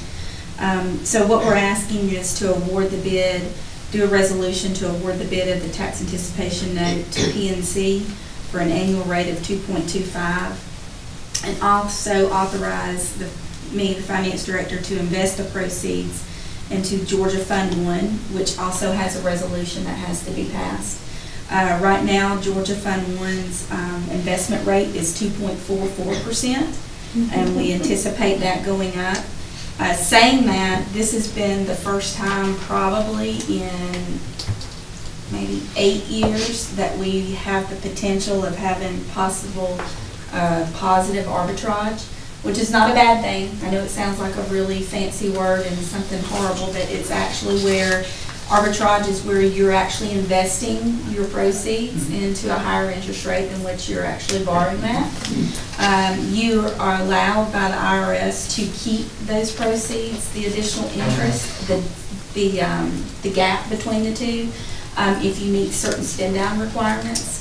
We're unsure if we're gonna meet those spend down requirements because we are borrowing a cushion of around two point seven million because we have a lot of DOT projects. So just depending on how the spin down goes, we may have to rebate the additional positive arbitrage back to the IRS, but that's all it is. It's just a refund back to them. It's not a penalty, it's not interest. It's just saying, hey, we earned this amount of interest, we should have only could, allowed to earn this amount of interest, therefore the difference goes rebated back to the IRS. Mm-hmm. We'll keep track on that, I'll keep track and definitely come before y'all, um, if we do have to pay that back or rebate it back to the IRS. Um, just like we did the past two years, we may be able to pay off the TANs early. Uh, we paid them off in November last year. Um, so, um, we may be able to do that this year, just gonna keep track on of our expenditures and our revenue, uh, coming in. Um, and I believe I, oh, the other, uh, the other thing, because we're in a market now with positive arbitrage, um, and looking at our debt policy, uh, we needed to amend our debt policy to include that we're monitoring our arbitrage, and we will calculate it, and we will send, if, if needed, we'll rebate it to the IRS. So this resolution also includes amending our debt policy. I spoke with uh, David Corbin, and we'll do an annual review of all of our policies, and we'll make sure that this is included within our updated debt policy as well. Any questions? Please, question. Yes, Commissioner Guider, and I'll go with you. Question. Yes, should it, uh, the item not say eighteen million? Or does it say it? Am I missing it? I think the resolution does. The resolution itself But, does. but since it's in the minutes, could we put the eighteen million? Absolutely, absolutely. All right, thank you. Question? Yeah, no, I, I I don't disagree. Again, we try to, you guys I understand these are summary line items for, you know, to facilitate Madam Chair's agenda, but we, we should be more specific and just put the amounts out there, that just, don't, don't embed it and make us go digging deep and stuff. Just, just call it what it is. It's okay. Um, I, I just, I believe in transparency with her on that one. All right, um, well done. Um, again, um, the- um, the debt change, um, the debt policy change, um, obviously we're gonna take up in our finance committee. So again, on this one, because of the timing of, of normally, uh, because we agreed that if the committee falls in between the meetings, we wouldn't pass any decisions, but this is a rule, like, guys, we need to get this money now. Um, so we're bringing simultaneously before the board of commissioners, so we're just letting you know that we know what we're doing by doing that, to give you a heads up. Um, I like the fact that, um, Director Hallman took a different approach this year. She got out ahead of time, gave people time to respond, um, and I think it was very competitive. Um, I, I like what I'm, I'm sitting here like, yeah, that's what we're looking for. So well done on that, um, as opposed to a shotgun. I think we got to, um, this was a very clean process, and and so Madam Chair, I just want to just sort of highlight that, that we took our time, we got ahead of the curve, and so we got the best uh, possible offering. So Mhm. I ask for the Board of Commissioners support on this. I yield. Okay. Yes, ju- Commissioner Mitchell? Yes, just, just one. So again, uh, in, in the, uh, on item number 13, we will add the rate or whomever we, you know, the recommendation is coming from and what that is, the amount, and so on. So that way we'll be clear uh, as to what they are. And the other part I want to add is, you're right, great job, Chairman Robinson stated. However, okay, so with that difference, just for clarity, there's not a difference in cost, meaning it's costing us to do business. It's if there's a, a win or a lose, meaning a plus or a minus, depending on how we spend, how we spend down, will determine that. So it's not a cost to us. So it won't be as though we spend, uh, borrowing sixteen mil, what was the number again? Eighteen mil, it's gonna cost us X because, because there's a good shot that we probably will make money from this, based on the interest rate that we're getting.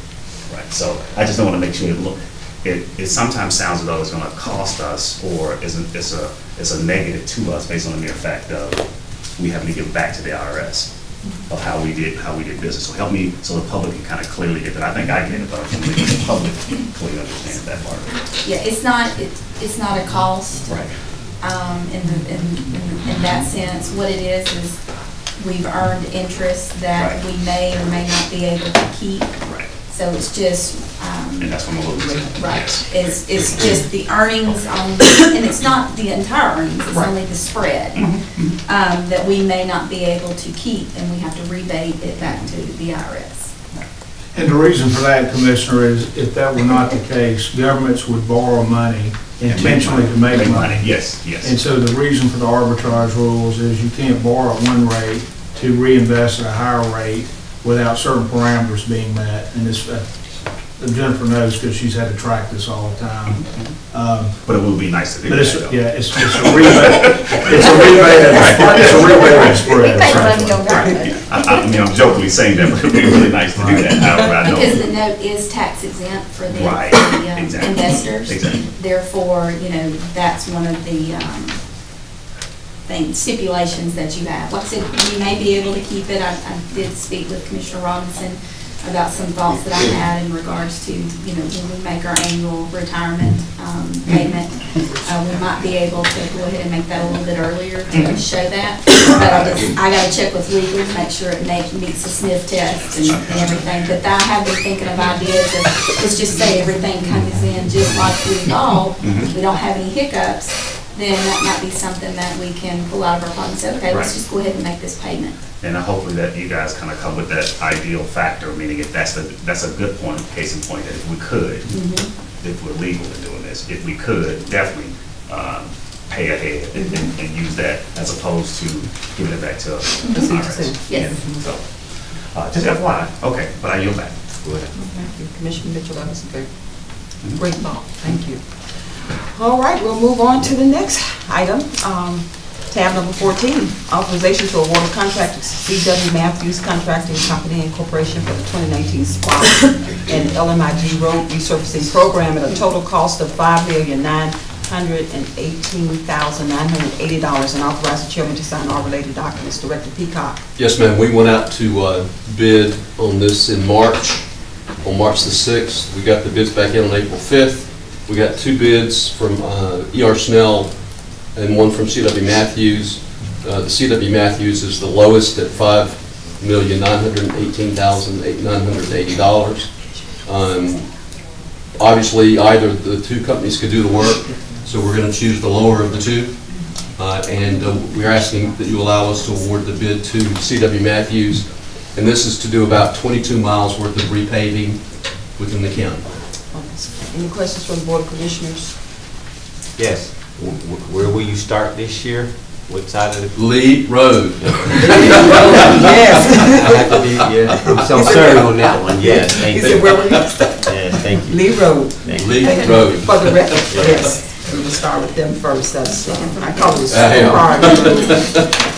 All right, well, we'll move on to the next item, tab number 15, authorization to award a contract to Yellowstone Landscape LLC for 2019 shoulder maintenance for a total cost of $312,540 and au- authorize the chairman to sign all related documents. And guys, that's for the mowing. I said road shoulders. I was like, hmm, it's in there, but Mark and I talked about it, but it's our mowing contract for the year. So I see, I see you, Commissioner Carthen, I'm like, okay, that's what I said initially, these road shoulders. Okay, any questions? Um, First of all, I give that to you, uh, Director Peacock. We went out for bids in March, got the um, re- response back at the end of March. The Yellowstone Landscape is our current vendor. Uh, They're the only ones that submitted a a rebid or a bid for this particular uh, invitation. Uh, we- We're going to talk with them about maybe improving just a little bit some of the things they do, uh, but overall, they they have done a- a a good job. Uh, So we are recommending that we uh, renew the contract with Yellowstone. Okay, thank you, uh, Director Peacock. What I would like to see in the future as we go forward, this contract bid it out a little earlier. It's time to cut the grass now. I'm driving in this morning, I'm looking around saying it's time to start mowing, not approving contracts. So if we could start in January, we have six months to sleep because nothing is growing. But I would like to see us cutting in April because it's just, it's, it's high out there. So anyway, so next year. All right, Commissioner Carpenter, I believe you have something. I do, um, and I guess we will go over this in our um, purchasing committee. Um, But to get more people involved in bidding on these contracts, because what we want to do is we want to make sure that we're competitive. So I don't know if we need to do an auditing of um, the um, the bidders that we have within the system, or look at how we need to get this out to those who can bid on it, but just to only have one person show up and then we just can only take theirs because they were the only ones to show up, it's just not good. We, we uh, sent the bid to 30 vendors. Do we know if those bidders are active? Do we know the These- last time they? These are, Actually. we, had- we did uh, validate, qualify these, if you will, to make sure that they are in, still in business, and, and I can say that ninety-nine percent of them are. So it just depends on the, how busy they are at this time of the year, whether they need the work or don't need the work.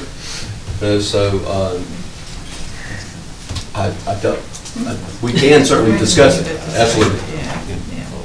Yeah, yeah. Yes. I yield, I yield back. Thank you. Or question, Yeah, to piggyback on um, Chairman Carpenter purchasing, but I, I think that begins the whole point one more time, whether it's transportation, whether it's roads, we're already into spring.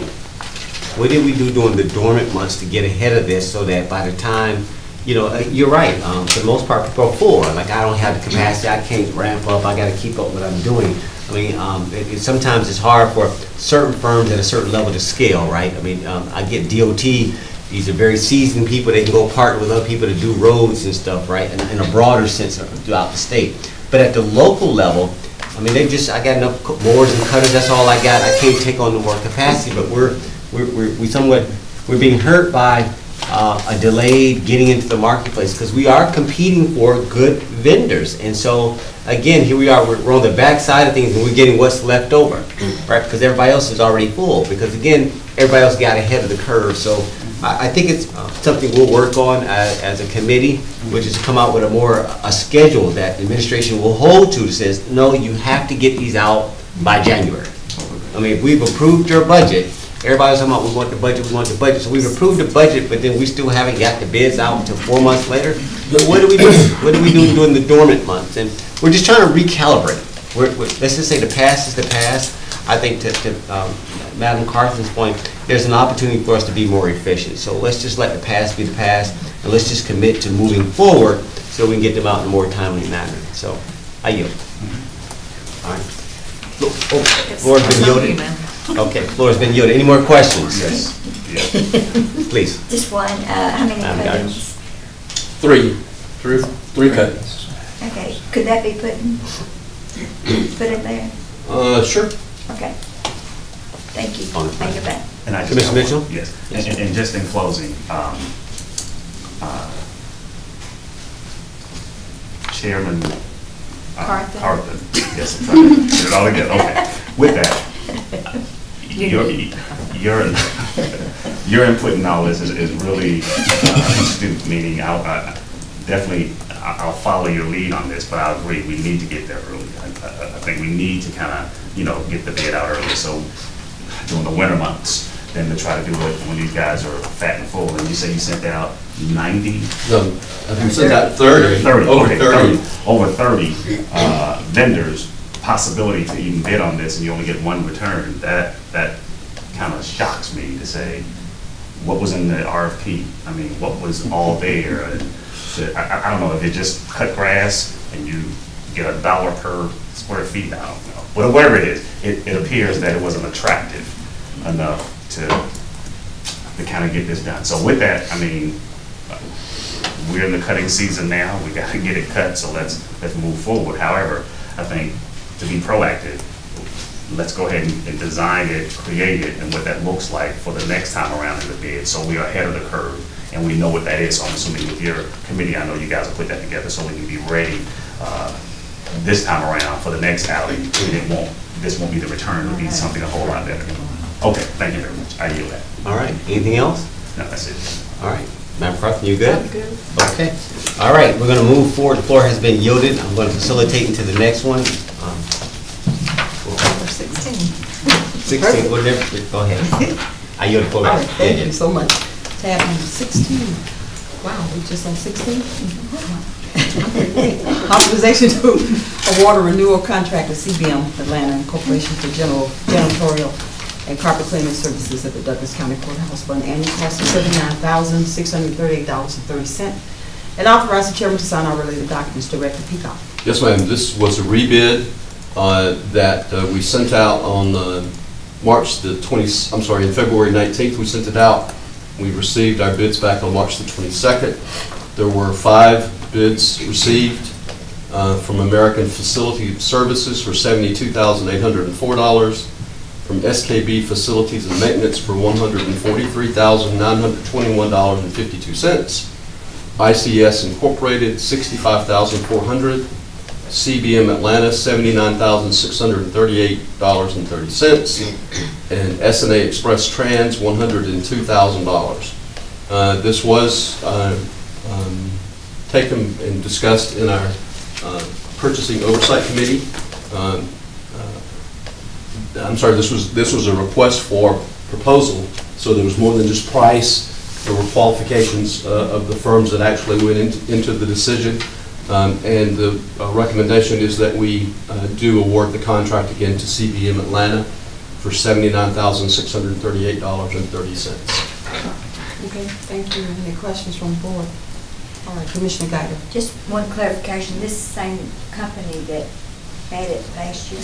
It's the same company that's doing bid it now? today. Okay. Yes, ma'am. All right, thank you, thank you. Okay. All right, pretty self-explanatory. We'll move on to tab number 17, resolution of the Douglas County Board of Commissioners regarding county-issued uh, purchasing and/or credit cards to designate certain Douglas County elected officials to receive a county-issued credit card and authorize the chairman to sign all related documents. Director Peacock.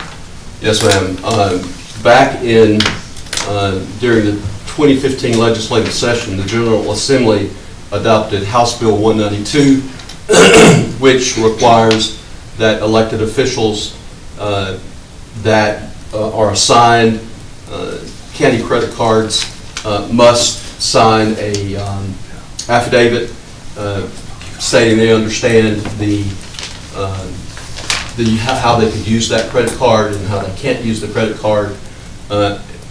Initially, when the rest, the the original resolution was passed, we said that uh, the sheriff's department, the, I'm sorry, the sheriff, the DA, the tax commissioner, and the chairman would be assigned cards. This resolution now expands that so that District Commission, uh, County Commission number one, Commissioner District 1, Commissioner District 2, Commissioner District 3, and Commissioner District 4 will now be uh, also given the ability to have a county-issued credit card after they sign their license. Okay, any questions from the uh, Board of Direct, Board of Commissioners? Sure. Ma'am? Robinson, yeah. I I just want to clarify a couple- a couple of things. Um, So, a- a a credit card is being, uh, um, a financial tool is being issued to uh, a new set of elected officials. Uh, And I'm not saying we need to go beyond that, but it it should be any elected official per se, right?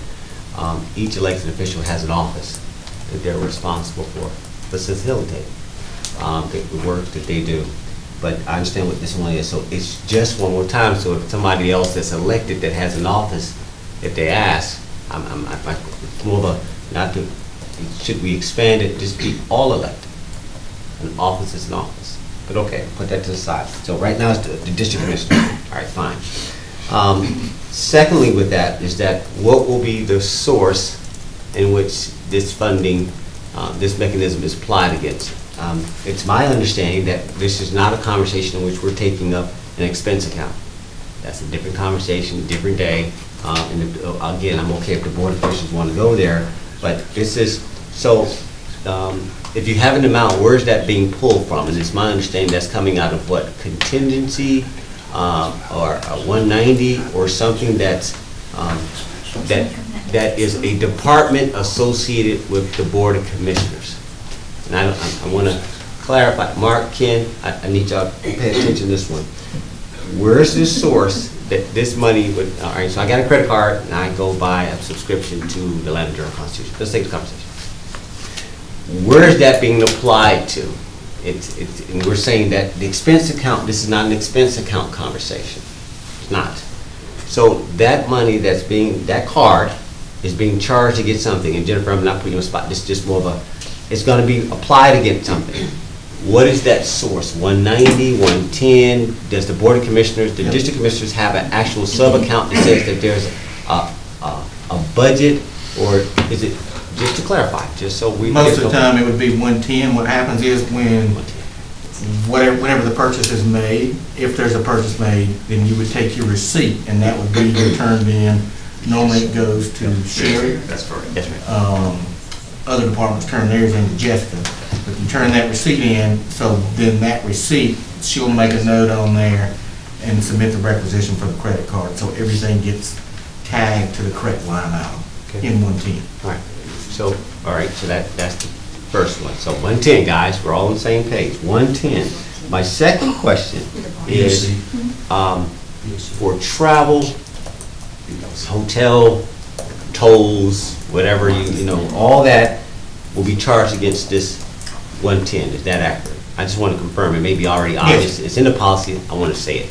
Jennifer, is that true? That is correct. Everything, all mileage, all food, all travel, all room and, what, what am I missing, Henry? Room and board, you, you traveler, okay. All right, all those things associated with that. Again, this is not an expense account conversation, this is one-ten conversation. All right, um, so we're separating the two. Um, am I missing anything else, guys? I just want to make sure that that is, we're clear on this resolution we're about to pass and that the policies line up with that. It is not, staff will say, well, our policy isn't that way. Well, I want to make sure it's clear that there's a distinct, that we can't make this up as we go. And, and- and one of the things you would think that, you would think that the Board of Commissioners would actually have this tool, right? But we, we come from an era when it was a very autocratic, um, probably time of day where everything was concentrated, right? They had, they had, there was a control mechanism that I think that we've sort of outgrown probably 10, 20 years. Uh, we really probably should, you know, my mother had credit cards back in, in in the eighties when she worked for the Department, of, you know, of Education, right? This, these tools are old, and I, I think we're, we're growing up now where we know the, the understanding of how to use these, these, these financial mechanisms. But I, I was asked like, well, why are y'all, y'all don't have credit cards? And it was just, it was just, it was just the age in which we lived in. It was very, you know, only certain elite elected, uh, it was sort of like a, a- you know, a club, like, oh, only y'all get the cards. But there was other people that had offices that weren't empowered to do so. And I appreciate this administration um, expanding the empowerment to allow us to be able to do what we need to do versus, you know, staff that goes home and we, we're- we we can't facilitate, because we're usually 24/7, right? There's nothing for us to get something on a Saturday, at Beeson, we're on Sunday, but if we have to do something, we gotta, like, that, that's not very uh, progressive. So I appreciate that. Um, But again, I think I'm clear on what this is. I wanted to make sure that our commissioners were clear on where the source was coming from, and I yield. Commissioner Barton. Okay, I didn't know what 110 is. You- You're saying it's BOC. BOC. But it's my understanding it went against our $300 uh, base expense. It depends on what the expense This is. is giving us additional uh, funds to use, is it not? Let me try to What do you address that if I can. And I don't know what fund it comes out of, so separate from the fund. There's three different things going on, and the three different things going on are, we're not talking about the three hundred dollar monthly expense. We're not talking about the outside county expenses. But what we are talking about, though, is the, charge has to be something that is either budgeted or approved by this board. You can't, there's not unlimited discretion to use the card any way we want to. It has to be something that's, that's in furtherance of board activities. Now, that, for instance, and, and I, I don't want, I'll be careful about going into for instance, because I don't know how many for instance there are. Aside from the three hundred dollar monthly expense, which this could be used to expend money for those things, even if it's annualized, like we talked about in the last meeting. If you take the three hundred and multiply it by twelve and say it's thirty-six hundred for an annual expense, it could be used for those things. It could be used for outside activities that, you know, going to ACCG conference and paying for a hotel room, paying for whatever's associated with that conference. Mm-hmm. And then the category is what? What else can it be used for? Mm-hmm. And that part requires some board direction on how those activities are. If it's not a pre-approved budget item, it's not a pre-approved or approved expense, then what? What is it? I'm not sure that this addresses that third It does element not. that Commissioner Robinson's talking about. And I'm not, I'll let you do it. Well, uh, You finish. it was all, it was my uh, understanding from the very get-go, it was just to be used, just like we turn in receipts now, we would just turn in our, you know, uh, they would pay the bill within that three hundred dollar limit. But you still need to turn in your receipt. Because if we go beyond that, then it seems like we're circumventing the other law, the three hundred dollar. Well, there's two different things. One, this was, a- as I understood it, was a Other convenience than factor. uh, hotels and stuff, uh, which is not local. Well, remember, your outside the county expense, as long as it's approved by the board, is hundred percent. So when you go into a conference, for instance, the cost of that can be on this card, because it's approved and it's hundred percent outside of Douglas County. Inside of Douglas County is three hundred a month. It's not, the statute, the, the local legislation doesn't prescribe whether it's three hundred or you analyze it or what. My only caveat is, is if you get cut from the year, it has to be a prorated refund back to the county. In other words, if you spend thirty-six hundred on day two of that administrative year fiscal cycle and you remove from office, die thirty days later, you, you- that, there's some money that's gotta come back. Understood. But what this is not talking about, the expenses are related to this credit card. We can't get around that. Mm-hmm. There- There is no individual decision as to how this money is spent. But one thing I said at the last meeting was this, that, you know, when, if the budgeted amount for the commissioners to have district town hall meetings is in the budget and is approved by this government, mm-hmm.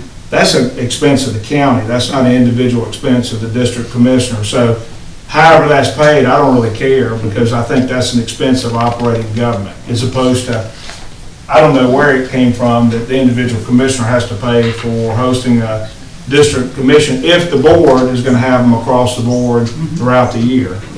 So that would be an expense that would go on here, that would arguably not be counted towards that three hundred dollars, because it's a budgeted, approved county expenses. Does that make sense? Makes a lot of That- sense. that- yeah. But what if, uh, okay, say you order a bunch of things that you want to hand out, uh, with your name on it and everything, is that, Well, well, listen, here, here's, how you spend, he- he- here's the, here's the, the fine line that you have to walk on that. Uh, If it's campaigning, you can't spend government funds on campaigning. But letting your citi- citizens know how to reach their district commissioner is a communication mm-hmm. tool. And that is an expense that either a commissioner can decide, I'm gonna spend my three hundred dollars to give out pins so people know how to call but me. that goes Or- against the three hundred dollars? well, unless the board says across the board, we're gonna budget this communication expense, then it's a county expense for having done it. In other words, we, we, ev- we're gonna buy, I don't know, I'm gonna make up something. Who, who, who does this for us? Where's Rick? Well, let, let's say that you're, you know, the, the, the putting a brochure out, that we're gonna have these town hall meet, this town hall meeting in District Two, or three, or four. That expense is a communication expense of the county. It shouldn't fall on the individual um, commissioner to pay that expense if it's approved in the budget, and that's what y'all's plan is across the board. Does that make sense? Yeah. But what you couldn't do is use a credit card to go have a campaign rally at Deer Lick Park or, or Winston and hand out t-shirts, vote Henry Mitchell or vote whoever. That, that would be, yeah. And I'm not talking, I use Henry because he's up here smiling, so I could use anybody. Well, I, I just really thought that it just went against your three hundred dollar limit. Well, the three hundred dollars, yeah, the- the three hundred dollars is supposed to be an incidental expense. It's supposed to be things that are incurred that, it it shouldn't cost you to be a district commissioner. You see what I'm saying? Other than the election itself. It shouldn't cost you to, it's an incidental expense, it's a local expense, if that makes sense. And the problem is, nobody's ever really asked the question, what does this really mean? Right. And I think prior administrations just toss it on the individual commissioners. Well, theoretically, I guess if you adopt that, you could, but I don't think that's what is intended. So your three hundred dollar expense, to answer your question, have you yield back? I don't want to take. Well, uh, it- there's a lot of confusion. I would like this to be taken out of the consent agenda. Okay, well, on the confusion, so you know, the three hundred dollars that you use every month, that can be used out of the card, but you just have to have your receipts. Your hotel expenses and all those things are done in advance. Right. It's just for extenuating circumstances when you get up to the desk and they say, guess what, you, it's not paid for. Then you have an emergency away out of it. So it's not that you're gonna be paying for all your hotel rooms out of that. But this will cover the cost for your three hundred dollar expenses, which I feel wholeheartedly you shouldn't be spending out of your pocket to bring back for receipts. You may not have that three hundred dollars that month for us to do that. And then that allows you for your, if you, if you're gonna have, you may not use it. You may not decide to have anything. Yeah, well, if you don't, You're you- well, you like me to just sit there and you don't use it, but I'm not voting against it. I have it in my purse in case there's an emergency, and I don't wanna say I don't want it. I just say, you know what, this is just in case. I don't even use mine. I had twenty-six dollars on it last year. So with that being said, we're gonna move on and we'll, uh, Commissioner Gotti, you still want it on, out of it, we can pull it out. Okay, that's fine. Uh, Madam Chair, we're only adding one word uh, under the resolve section, the word also, so that uh, it it references to the prior people that were already awarded credit cards. In the resolve section, we're, we're we're saying the following Douglas County elected officials to also receive a county issued card, because some already have it pursuant to the old resolution. Yes. Okay. And Mark knows where that transition is. Commissioner Mitchell, I think Yes. you have something, we'll move on. I, I think just, and- and just for clarity, so we're saying all elected officials or just making the adjustment for the, the, uh, Board of Commissioners? So This now, one- it's only This for was commissioners. Yeah, only commissioners. District commissioners, but that's up to the board on what. My thoughts are, what it- to add. I, I- I mean, as Vice Chair stated, I mean, I don't want to speak for him, I I think it only makes sense that it's, this one time we do it and be done with it versus trying to come back and now, does the tax commissioner get one or vice versa, and I'm just only using hypothetical. Does the tax commissioner get one versus the sheriff? He already, yeah, they're I already, know, yeah, I know. okay. I'm, I'm just being hypothetical, so from, from the elected officials versus the board of commissioners only. Now, if they choose not to have a, a, a- a credit card, then that's their prerogative. Mm-hmm. But at least that is a part of their duties and or responsibilities as to what they do. Now, just, it, it makes sense to just say it's across the board versus So all selected elected officials. All That's just- county elected County officials. elected, yeah. All county elected officials. Yes, I don't want to give the city one. No, Not, the- not, well, not the state, though. Yeah, no, I got you. No, no, In I other words, agree. we're, we're talking about, I'm just going through my mind, we're talking about the chief magistrate, the Yes. solicitor general, the judges of the Correct. state court, That's correct. uh, probate court, I believe, is an Yeah. Elected official, the coroner, Yes, yes. I'm going through If the he or list. she is elected, Yeah. then, I- okay. If you are, if you are, and here's, here's, and just so y'all know, I'm talking through my mind, you're, you're considered a county elected official if you qualify through the local party apparatus. If you have to qualify at the state capitol or secretary of state, you're considered a state elected official. That's correct. So we have some overlap. Yes. But we're talking about people that qualify locally, run for That's office, and get elected to county seats. State that, okay. Is that what I understand everybody Yes, saying? Absolutely. Okay. Okay, and the other part about receipts, I, I think, I don't know if it needs to be stated, but we all make sure that it's clear that receipts will be the verifier, the, the the qualifier, I guess. Whether you buy pencils, pens, drive a cab, whatever it is. Well, I That- think, yeah, I think, and I may be wrong about the policy, but Bill, hear me on this. Because a credit card receipt is just gonna have a line item in some place in San Mateo, California, and who knows what that is. Right. It's gotta also accompany the documentation And that's behind it, what it because is. otherwise the credit card won't show anything. It- And they do now, today's, Yeah. Ken, today's credit cards will show it, but I still think a, a, a- they need to be accompanied with a receipt. And it's just my. Is that how policy works? That is part of the policy. It says that receipts, invoices, and other supporting documentation of all purchases made with a county purchasing card or credit card shall be obtained and maintained by the authorized county elected official for five years or as otherwise provided by the county's retention policy. And what staff will do is when you turn in the, the uh, receipt, so they will make sure that Mm-hmm. they know exactly what the receipt was for, if mm-hmm. there's any question, and then they'll make sure it gets charged to the credit. And it has to balance, line item. your receipts mm-hmm. have got to balance the, So, so, so, but. transactions. I'm I'm only, I'm only, the other part of this question is, what if we don't? So if we don't turn in the receipt, swipe the credit card, what happens then? doesn't get paid. Then it doesn't get paid. It doesn't, get- but it's already Get paid because it's already, the, the card is already paid for I guess. Am I correct? The car's not, the car, the- the reimbursement comes out of that account, but the car is linked to the individual signed card, right? We have to enter a requisition every month for, to pay for, for the bill, credit card bill. So if all the paperwork's not included with the, the requisition, it won't make it through the system, so it won't get paid.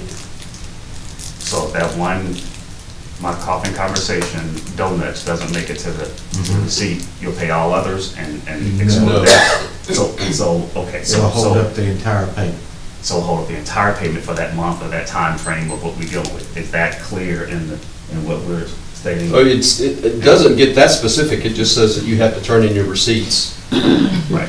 Sh- The, the problem you run into is this, you got the policy, and then you have the fiduciary responsibility, the chief financial officer. She can't pay anything that she can't audit and prove. And so she, if, if she can't hit the go button unless it meets her criteria as a fiduciary for releasing taxpayer funds to pay it.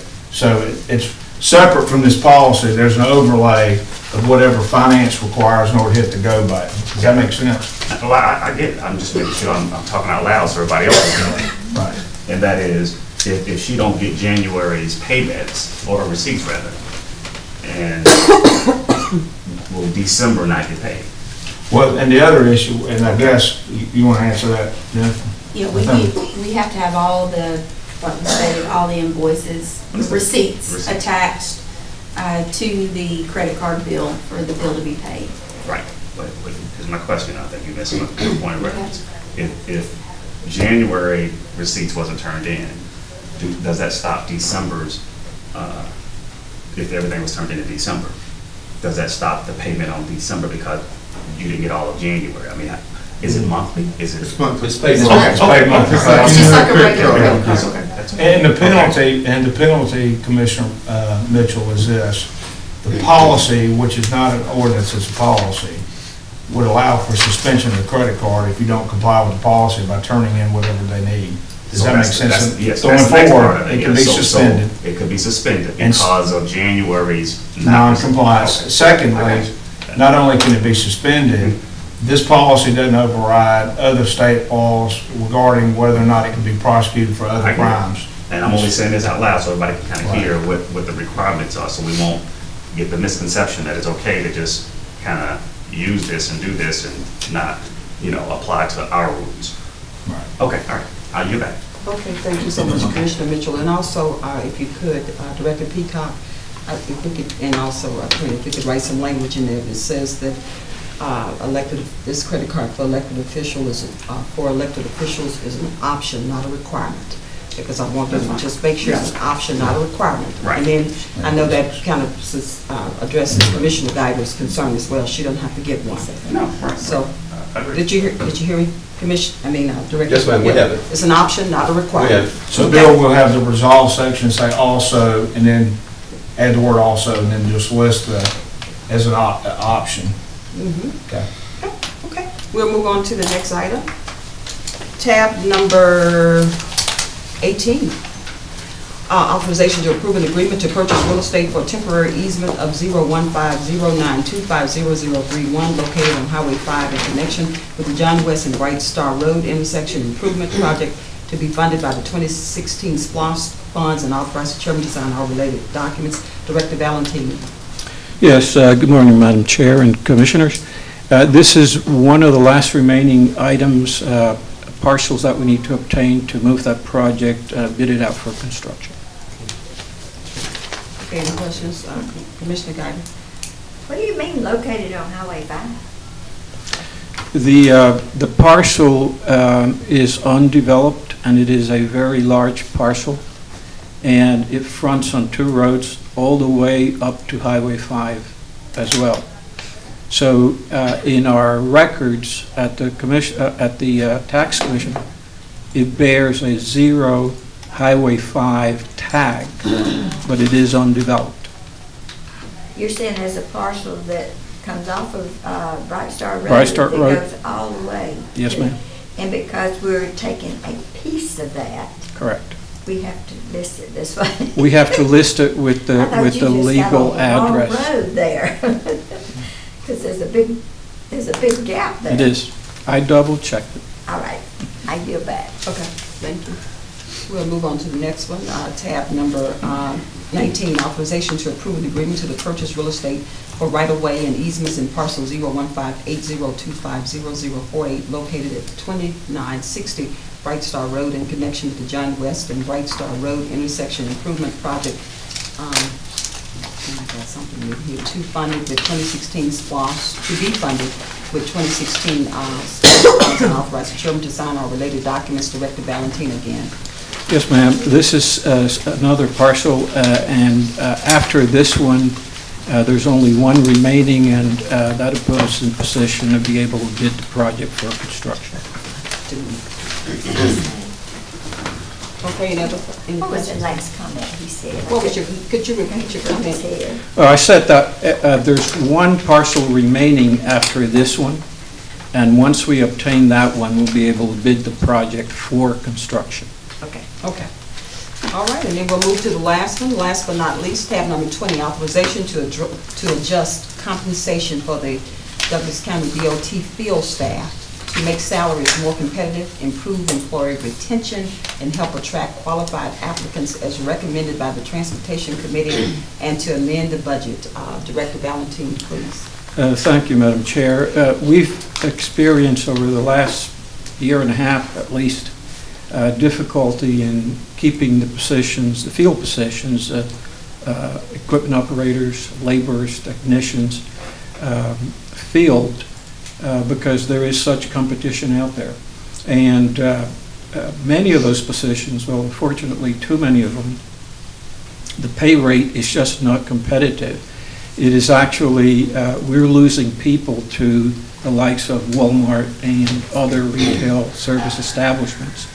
So this, this, uh, in order for us to be able to maintain the staff and in recognition of the hard work that, that they have been doing uh, over the last uh, several years, uh, and attract uh, qualified applicants, uh, we, I'm asking that you allow us to bring the salaries more competitive with the region. The, many of the um, applicants' starting rate is around uh, slightly under 11 uh, $12 an hour, and that is just not competitive anymore. Uh, We have, when we did an analysis of the remaining staff, we found that, um, that the staff that we do have that's been here uh, a while, several years, or perhaps many of them 15, 20 years, have been the higher paid equipment operator positions. But we're starting to lose those uh, to the competition, including uh, a lot of these contractors that we're trying to get to do work for us, paving and and otherwise.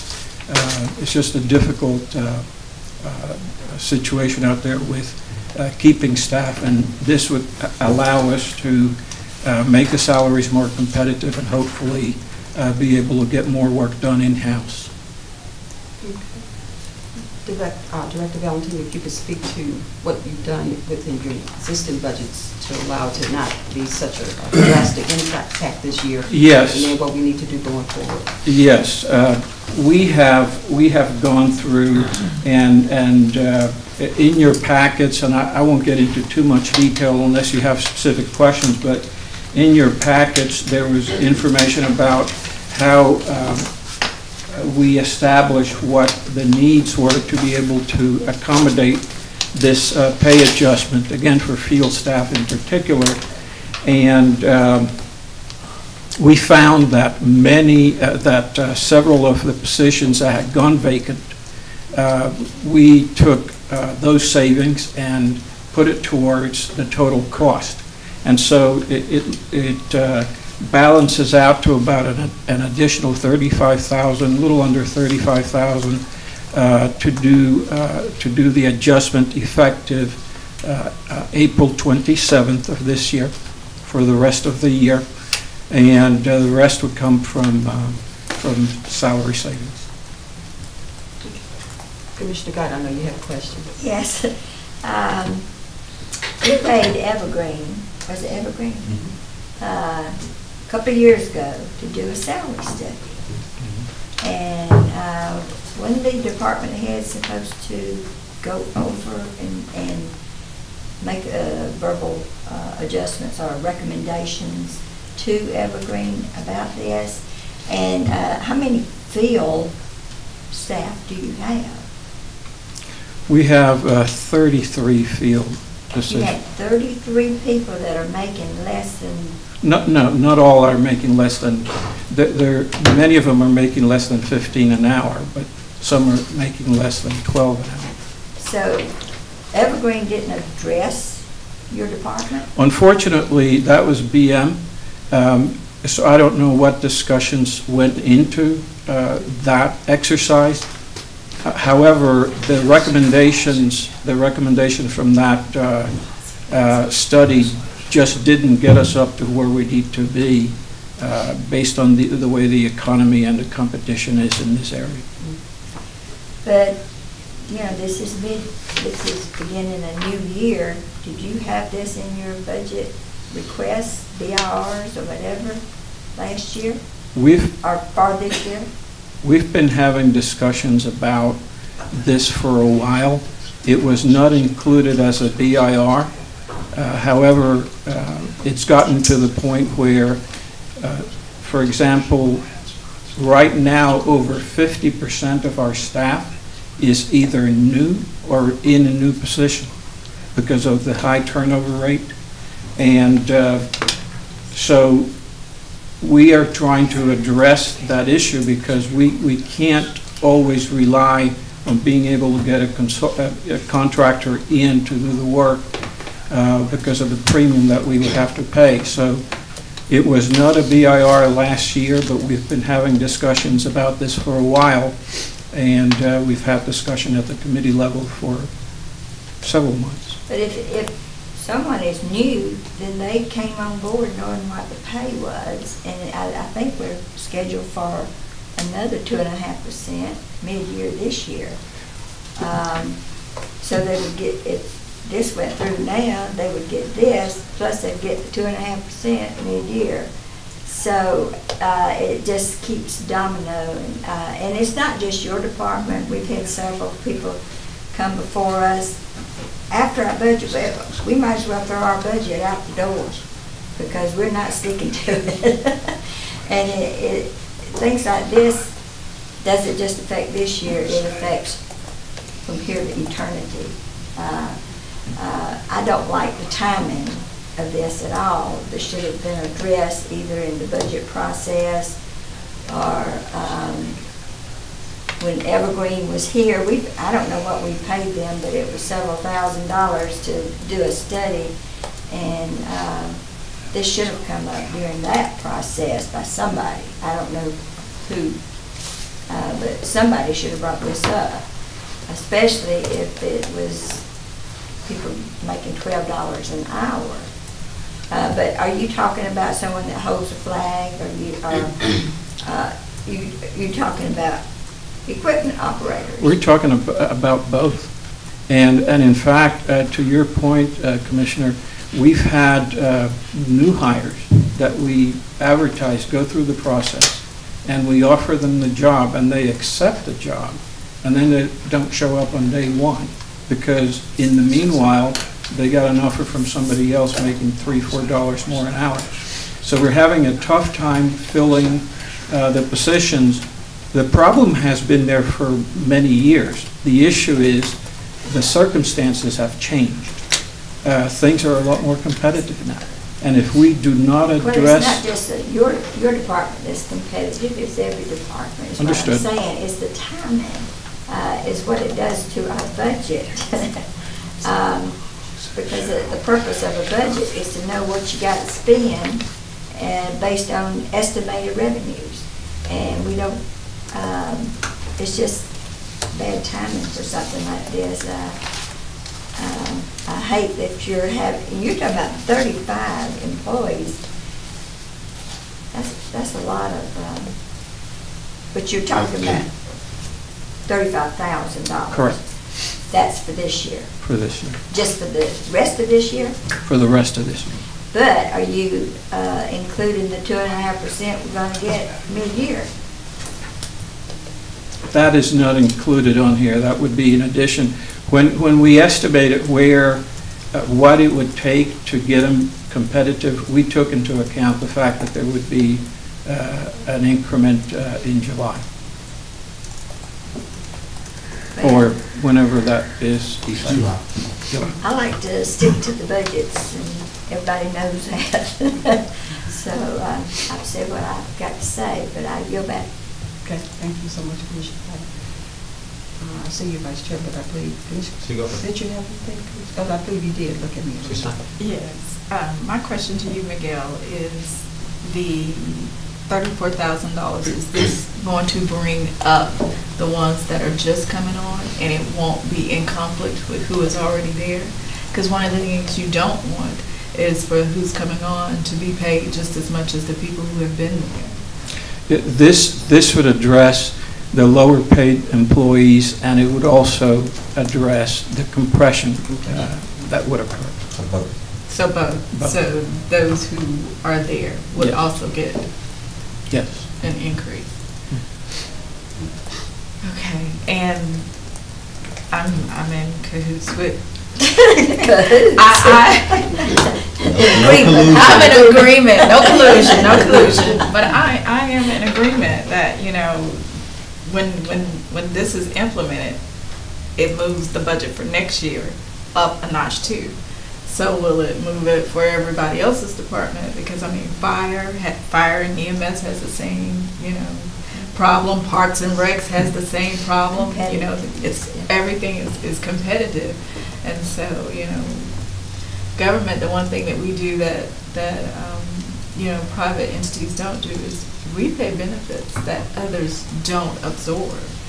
And so when we are talking to those people who are coming, if we could like press that, you know, we, we, we pay in other ways that, um, you know, private companies, I know because I'm one, don't pay for. I don't pay for that. So, You know, I don't pay for you to get benefits. Un- So- Understood, understood, Commissioner. And, and to your point, um, we looked at adjoining uh, counties that we're losing staff to.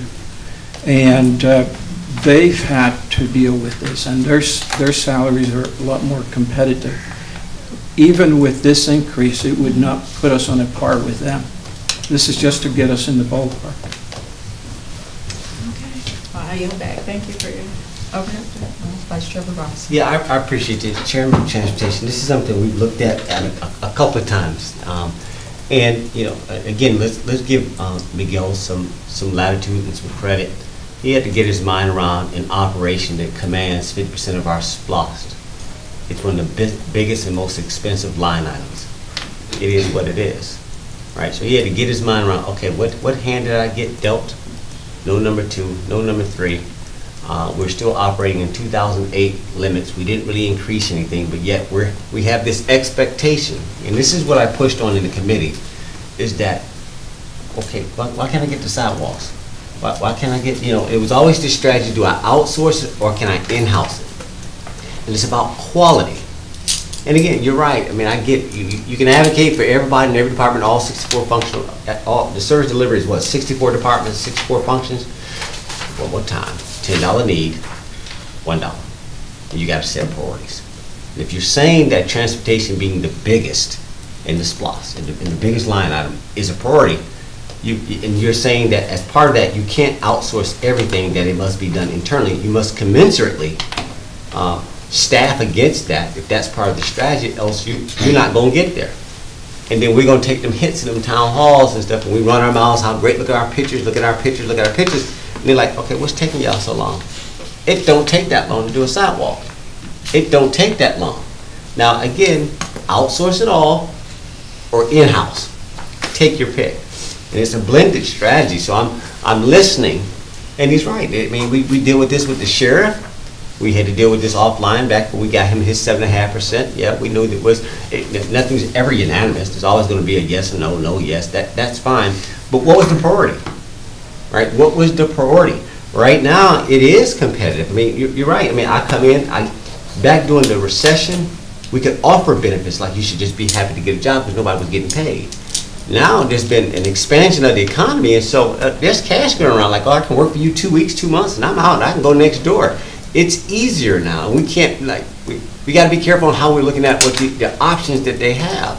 So he's in a rock and a hard spot because he has to deliver against the things that he's committed to that we said he can go do regarding in-house. But we want to empower him to do it, but we want him to, to manage expectations, where we at with intersections, where we at with this, and it's like, and not, not, I got you on this, Miguel. In other words, I understand where you're coming from. You can't put that expectation on him and then you don't give him the resources that's necessary to get it done. And you see it bleeding out the back door, but that's for all departments. I get it. Miguel just happened to come to the table right now, so don't, for any department director, never fear coming and advocating for the interests of your department, right? I mean, Miguel just happens to be here, so I don't think he should be punished for bringing that forward. Advocate for your interests. And it's up to the Board of Commissioners collectively go to their corners and, and, and make a vote on whether or not they believe that this should be acknowledged. But I, I, I don't want to lose that point. Um, we're, we're saying that we, we, that this is important, but yet we're not funding it, um, to the extent that it needs to be. So I just want to leave that, Madam Chair. It was time. We need to bring it forward, and the Board of Commissioners need to cast their respective votes. I do. Okay. Commissioner Carthen? So my question to you, Miguel, is some of the needs that we have, let's say mowing, and we just did, we just outsourced it. So are you saying that some of that would need to be outsourced if your people were making the amount of money that they need to make? Uh, We would, we would be in position to, to have more qualified staff and be able to do more. Our efficiencies would be increased. So for example, uh, take the resurfacing contract that, that uh, is on the agenda. Some of those roads, as, and I don't want to get too deep into that discussion because Right. that's, uh, that's a slippery slope there, but uh, some of those roads have been done in-house, uh, or or in the, in the past, the LMIG roads were being done in-house. If we had the, the, if we were fully staffed with qualified people, we would be able to deliver on more roads. We would pay, be able to pave more roads in-house than, so we wouldn't need to outsource as much. So, so essentially, going forward, for example, last week, we began paving the remaining roads from 2018. We would be able to complete that list and do additional roads that are not on any list right now. Because we, not only do we address programs and projects such as LMIG or SPLOST, but we do extensive in-house maintenance. So this will provide that capability to do more maintenance in terms of resurfacing, addressing potholes a lot quicker, addressing signage, all of the maintenance that goes on that we are obligated to do. Uh, This would put us in position to be able to handle that a lot more efficiency, uh, efficiently. Thank you. Thank you. Commissioner Guider, then we're gonna wrap up. Okay. Um, Miguel, I'm not saying that you don't need to do this. I'm saying the timing, why, why did, why wasn't it included in your 2019 budget request? That's what I'm saying. Uh, That way, we would have had time, we would have had time to wrap our heads around it too, and, and come up with some kind of solution. But uh, you understand, when we set a budget, we're, we're basing uh, that budget against the revenues that we anticipate getting. We don't know those revenues yet, and um, if anything can happen. But I'm just saying, every department should include this in the budget process so that we know what our expenditures are for the year. Uh, we don't know what the revenues will be, but we es, we estimate that on history. But, uh, we have to have these figures during the budget process. I've said that to other departments too. And, um, and that is my, uh, reluctance on this, is, uh, the timing. It's all about the timing. So I yield back. Okay, thank you so much, uh, Commissioner Guider. We're going to move on. Thank you so much, Director uh, Valentin. We have the approval of the minutes tomorrow, tab 21 through 25, Board of Commissioners. Please take a look at these expenses. and then we will go, from- uh, we will approve accordingly tomorrow, uh, based on the vote. Uh, Tab number 26, uh, which is discussion items. Do we need to discuss the commissioner expense accounts? Is that, I'm not sure. We're good? You don't need to? No, Okay. We'll take it up at the end of the year. Okay, thank I do you. in the budget cycle. Attorney Bernard, do we Yes, need to go into executive session? I am going to be able to spare y'all today, Madam Chair. Bless you. Okay. Any other comments from the Board of Commissioners? Anything from the, uh, my uh, county administrator? Do you have any- anything? to Um, bring? We're not, uh, we do have the lunch and learn with the uh, Representative Bodie at twelve thirty The 12:30. in here. Okay. It's running ten minutes late. Okay, all right. Well, thank you so much. If there's no other um, things to discuss, if there are no other items to discuss, this meeting is adjourned.